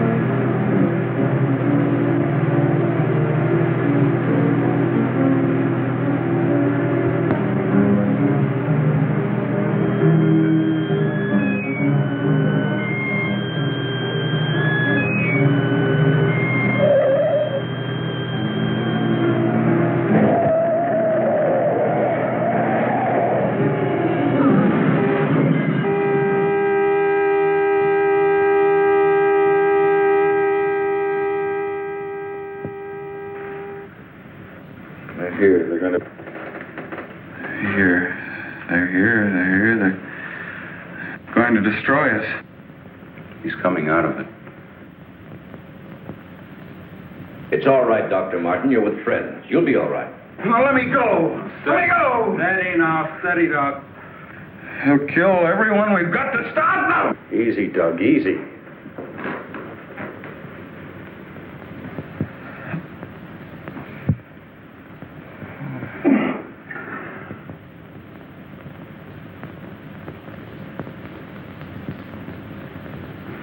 What did you give him? Sodium amytal. Serum. It'll deprive his mind of any imagination. I guess he'll make sense now. I'll get the recorder ready. Can you hear me, Dr. Martin? Yes. Now listen to me. I want you to count backwards from 100. Do you understand? Backwards from 100. 100. 99. 98. 97. 96. 95. 94. Well, you can ask him questions now. Dr. Martin, what were you doing with the information you took from Dr. Kruger's vault? I was delivering it. Delivering it? But where? To the rocks in Soledad Flats? Yes. To Soledad Flats, there where we crashed. I was delivering it, just as I was ordered. Who ordered you to do this, Dr. Martin? I'll tell you the whole story. I remember we were circling the atomic cloud. There was an object glowing beneath us at Soledad Flats. We were going down to investigate. Controls jammed. Couldn't pull out.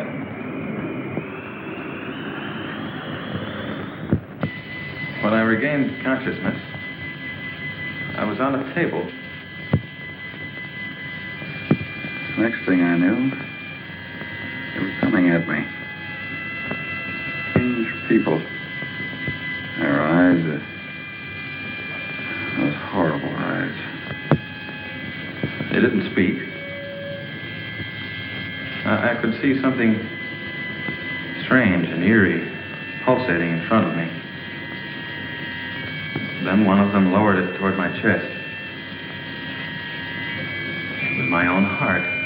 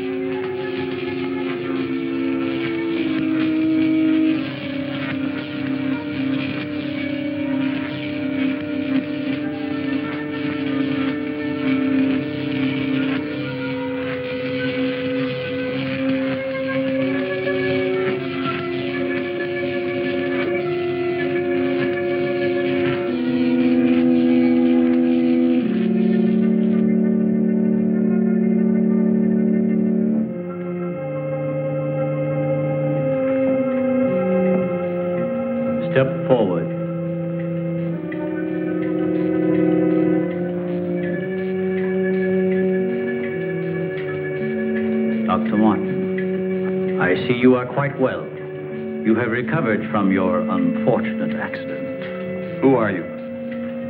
A scientist, like yourself. Where do you come from? From a planet, yet unknown to you. You know my name. You speak English. We speak every language. Can't expect me to believe that. I'm getting out of here. Stay where you are.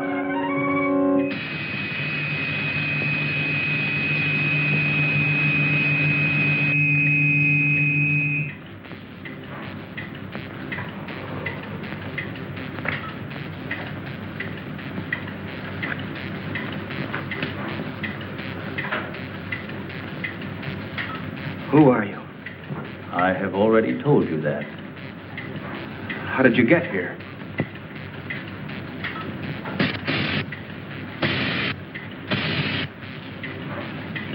Here. In our machines magnetically propelled across the electron bridge we have created. Electron bridge?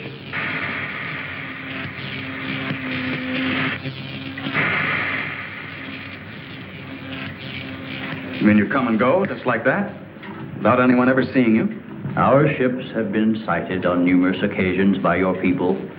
Then why haven't we been able to track one down? We have a warning system similar to your primitive radar. Our machines are set to change course at the mere approach of a pursuing object. Let's say I do believe you. Where are we right now? In a cavern within the upper crust of the earth. How long have you been here?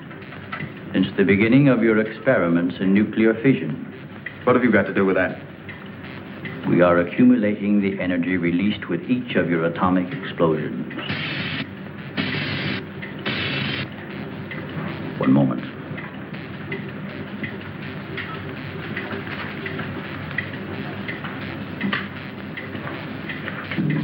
No, I here here here up. No, here here. I let it. Now, Nino. Nino. Never Nino.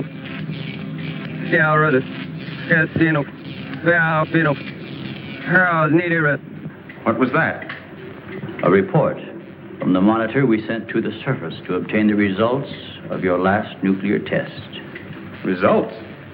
They'll take days to analyze and compute. I think you will find these figures are correct.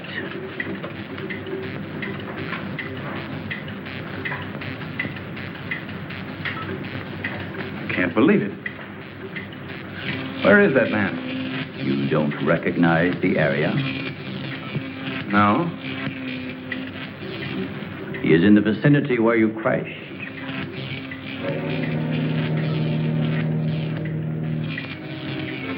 That rock was glowing. A normal reaction in view of the amount of radiation absorbed. You have a remarkable memory, Doctor, considering the fact that you did not survive the crash. What do you mean? The mechanism of your heart had ceased to function. It was necessary for us to revive it. You were dead. I was dead. So that's what they were doing. You didn't even try to help the pilot. Why did you save me? Because we had an important need of your services. Such as?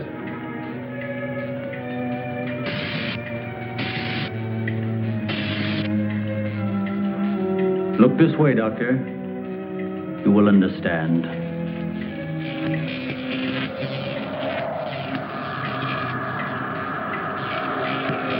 Here, Doctor.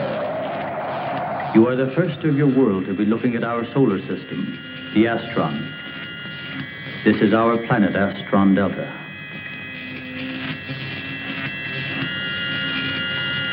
It occupies the fourth position in relation to this, our sun. Yes, go on. During the 23rd time rotation, our sun began to die.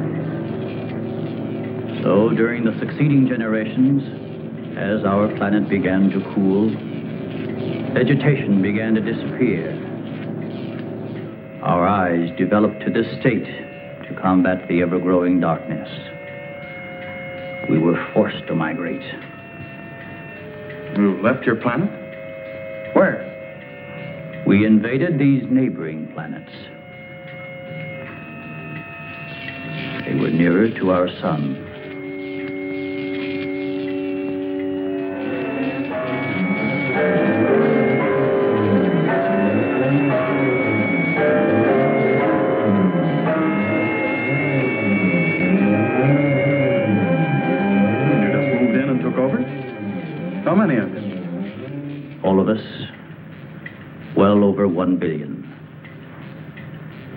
Feeble attempts to stop us, but we were prepared for such contingencies.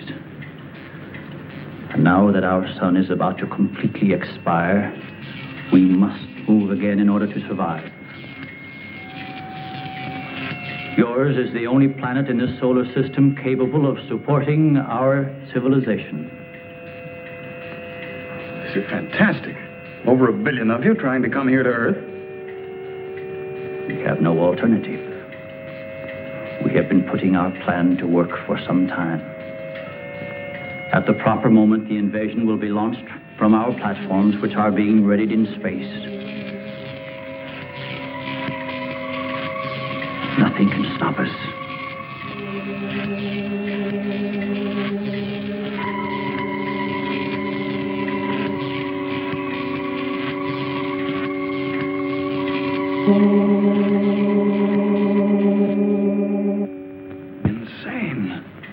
This is ridiculous.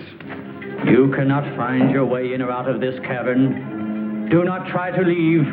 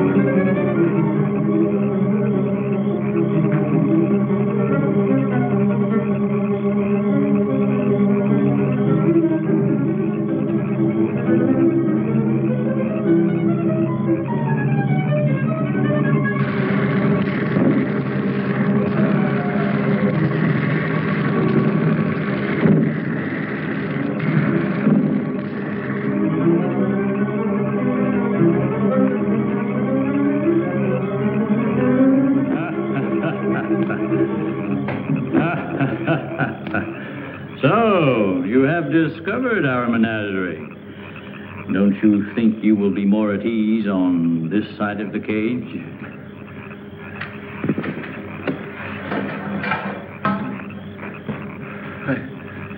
It's horrible. What are you doing here?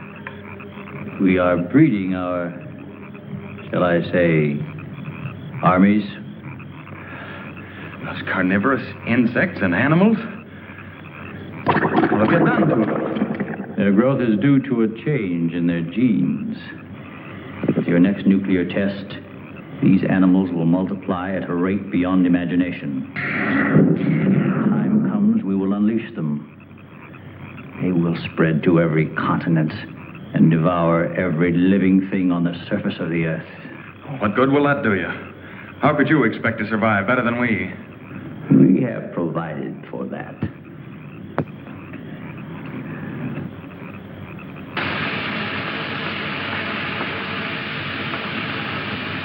No, Doctor. Look over there.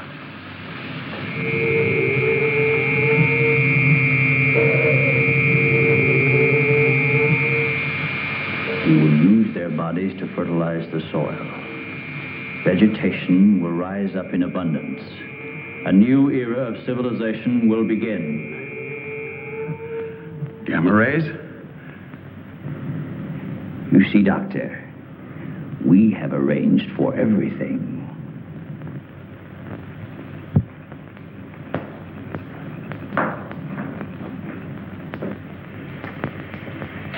Wait a minute. All this equipment? Our nuclear storage units. To date, we have accumulated several billion electron volts as a result of your atomic explosions. Several billion? Why, a, a chain reaction at this point could release enough unstable isotopes to, to create a new and powerful element. Might be impossible to control. True. An element that will never be known by your scientists. I can assure you the strength of this new element will Why, be... this is a powder keg. Could go off at any minute. I assure you, Doctor, we have everything under our complete control. What force could possibly be strong enough to harness the. You control your whole operation by electricity. Of course, no generators, no generators. That means you're getting your power from somewhere on the surface. It must be passing through here. You have heard enough, Dr. Martin. Step inside.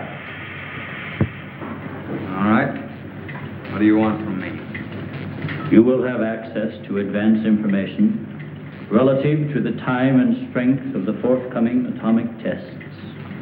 What about it? You will provide us with that information as soon as it is available. I see.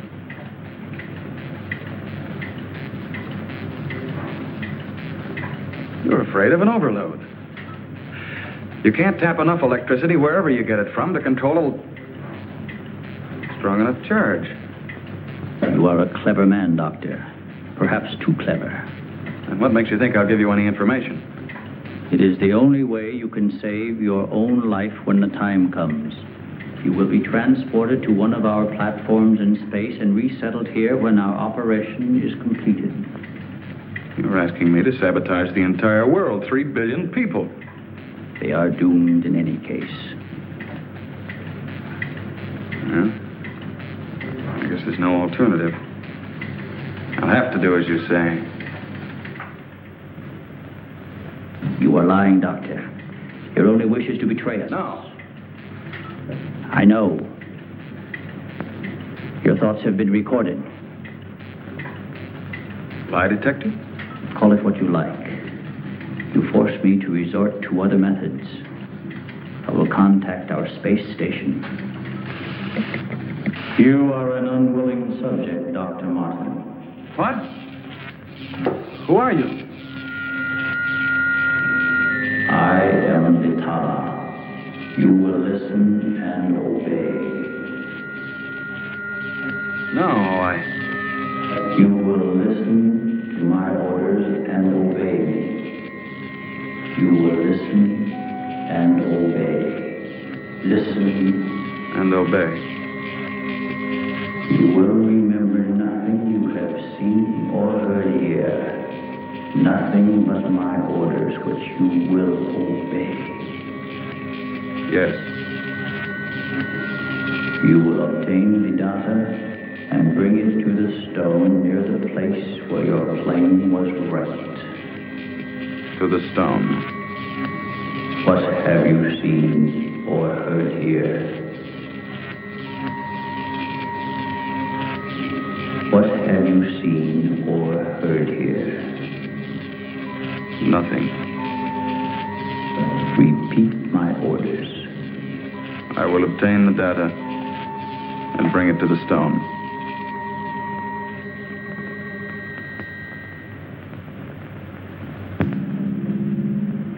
Well, that's what I did. I took the information to where they told me. I didn't realize I was being mesmerized.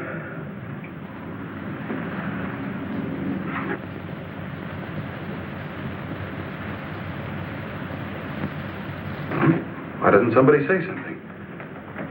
Don't you believe me? Kurt, you understand. These giant animals breeding by the millions, they'll devour everything unless we stop them. Of course, Doug, we will. Colonel, Colonel, you've got to arrange to set off another bomb tonight. The strongest charge we have. They're beneath the ground with all their equipment. We can blow them to pieces. Now, wait a minute. A strong charge will overload their units. You don't believe me, Colonel? Major? Kurt? Of course we do. Easy, Doug, easy. You think I'm crazy, all of you. Well, I'm not. Do you understand? Everything I said is true. I saw it with my own eyes. Give me a hand, Doug. Now, let me go. Let me go. Steady, steady, steady. Take it easy now. Take it easy. We'll talk this whole thing over. What are you doing to me now? And just rest quietly. That's it.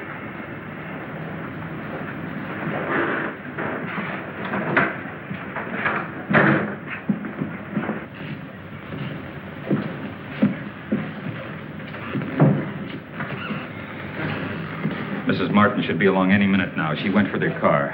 What'll I tell her? Well, he's in a state of shock. Tell her he's resting quietly. If you'll excuse me, I think I'd better wait for her at the information desk. Well, Dr. Martin seems to be indestructible, except for those hallucinations. Those weren't hallucinations, Colonel. Under the influence of sodium amytal, a patient loses all control of his imagination. Well, then he shouldn't be able to fabricate those stories. That's right. Major, you're not trying to tell us that everything he said was true. Look, gentlemen, I can only give you the medical facts. As for the rest, you'll have to decide for yourself. Excuse me, please.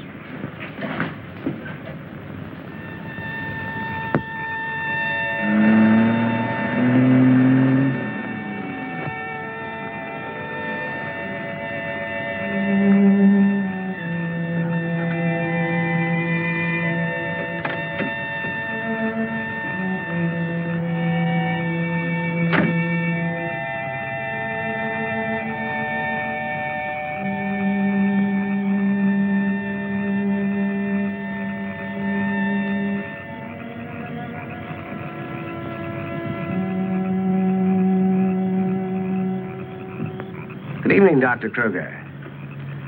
Chilly, isn't it? Oh, Mr. Briggs, you startled me. I didn't expect to see anyone here. Well, uh, neither did I, Doctor. Well, I suppose you want me to explain why I'm here. Mm-hmm. I want to believe Doug. We've worked together a long time.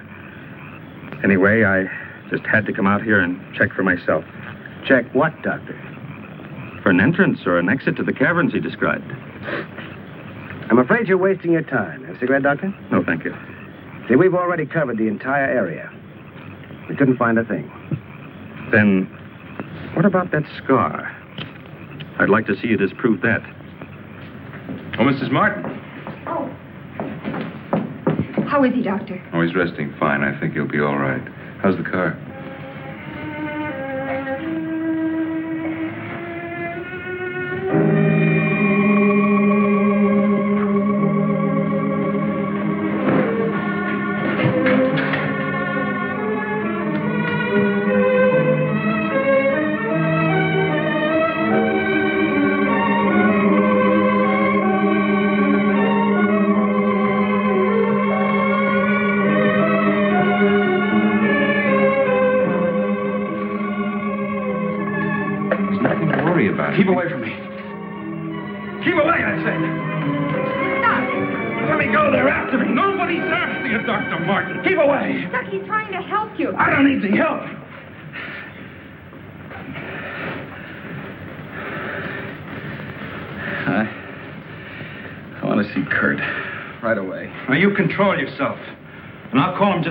You get back to your room.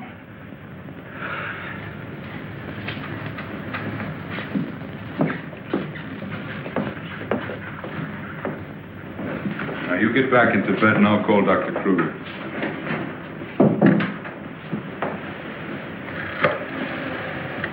Uh, I've got to figure something out before he gets here. Need a pencil, some paper, and a slide rule. I'll see that you get it. Oh, can I have Dr. Kruger, please?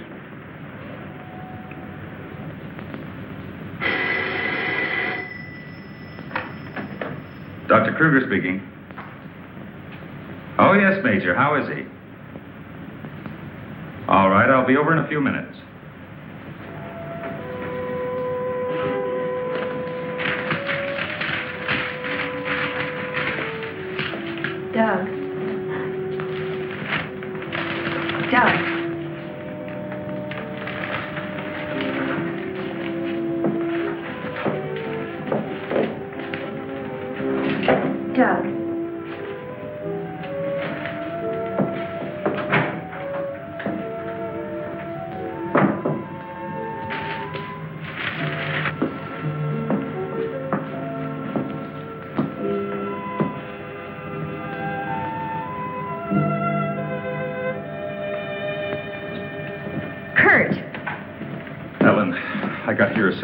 Is there anything wrong? He's much better. Imagine he's even started working. He asked for paper and a slide rule, That's interesting. Wonder what he's up to. formulas, equations. Anyway, whatever he says, pretend to agree with him. Major Clift's orders. Of course. Doug. Doug, Kurt's here. Hello, Doug. Just a second. I'm almost finished. I'll take your hat. Thank you. Kurt, let's face it. I know that you all think there's something wrong with me. No, of course not. No, I, I wouldn't blame you after the story I told last night. Well, frankly, you did have us a little worried asking that a bomb be dropped because of what you said. You don't believe me either. Kurt, I tell you, I've been there. I've seen what they're doing, breeding animals into carnivorous monsters. But I don't need a bomb to stop them. I've figured it out. It's all here. Now, look. Here's the nuclear strength of our last test. And this is the amount of electricity needed to control it. Let me see that. I had to estimate the conversion rates of their transformers. These figures are correct. Such transformers must operate on a constant supply of electricity. Where could they get that much electric power? Only one way. They must tap it from the main lines at the powerhouse. Could do it by parallel induction. Nobody'd ever know the difference. All we have to do is to cut it off. Cut off the power? We can't do that. It would cause untold damage for miles around. Such a power stoppage must be planned in advance. Eight to ten seconds, that's all I need. That gap in supply will short out their resistors and the whole thing will go up. But you won't go along with that. No, no, not you. Doug, get back in bed. There the car keys. There. Now, look, you're carrying this out of my way. Doug!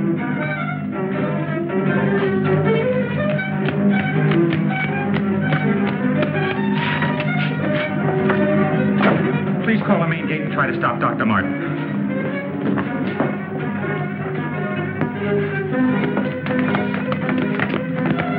Doug took the car. Hurry.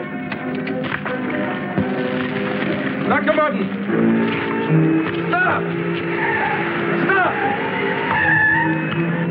He did what? How long ago? Right, we'll leave immediately. What's wrong, Colonel? Dr. Martin, he's on his way to the powerhouse, wants to cut off the power supply. Let's go.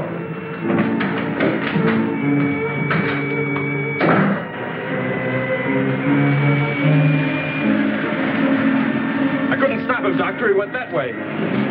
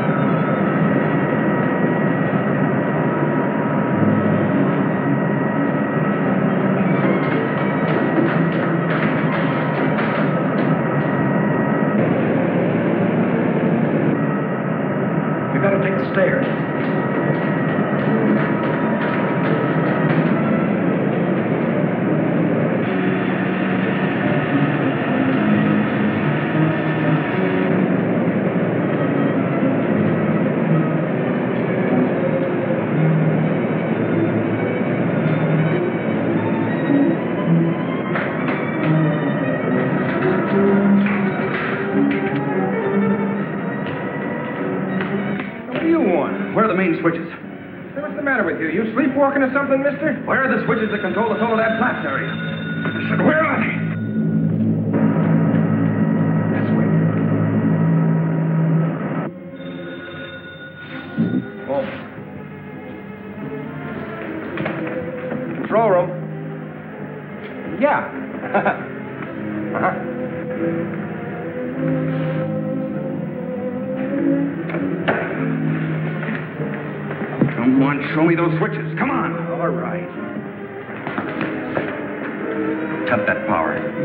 Mister, be reasonable. I said cut it.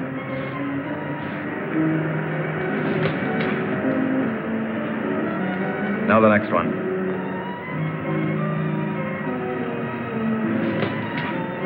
Next. Go on. That'll turn the power off for a hundred miles. Do as I say. Here it is.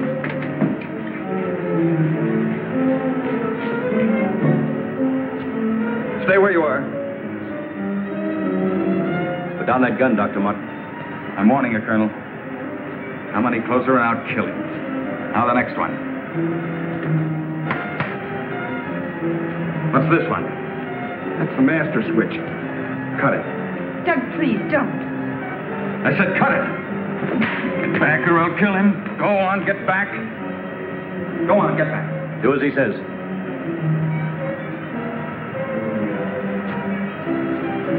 Give me ten seconds after I cut the power. If I'm insane, nothing will happen and you can do what you want with me. But if I'm right. Now. One, two, three, four, five, six, seven, eight.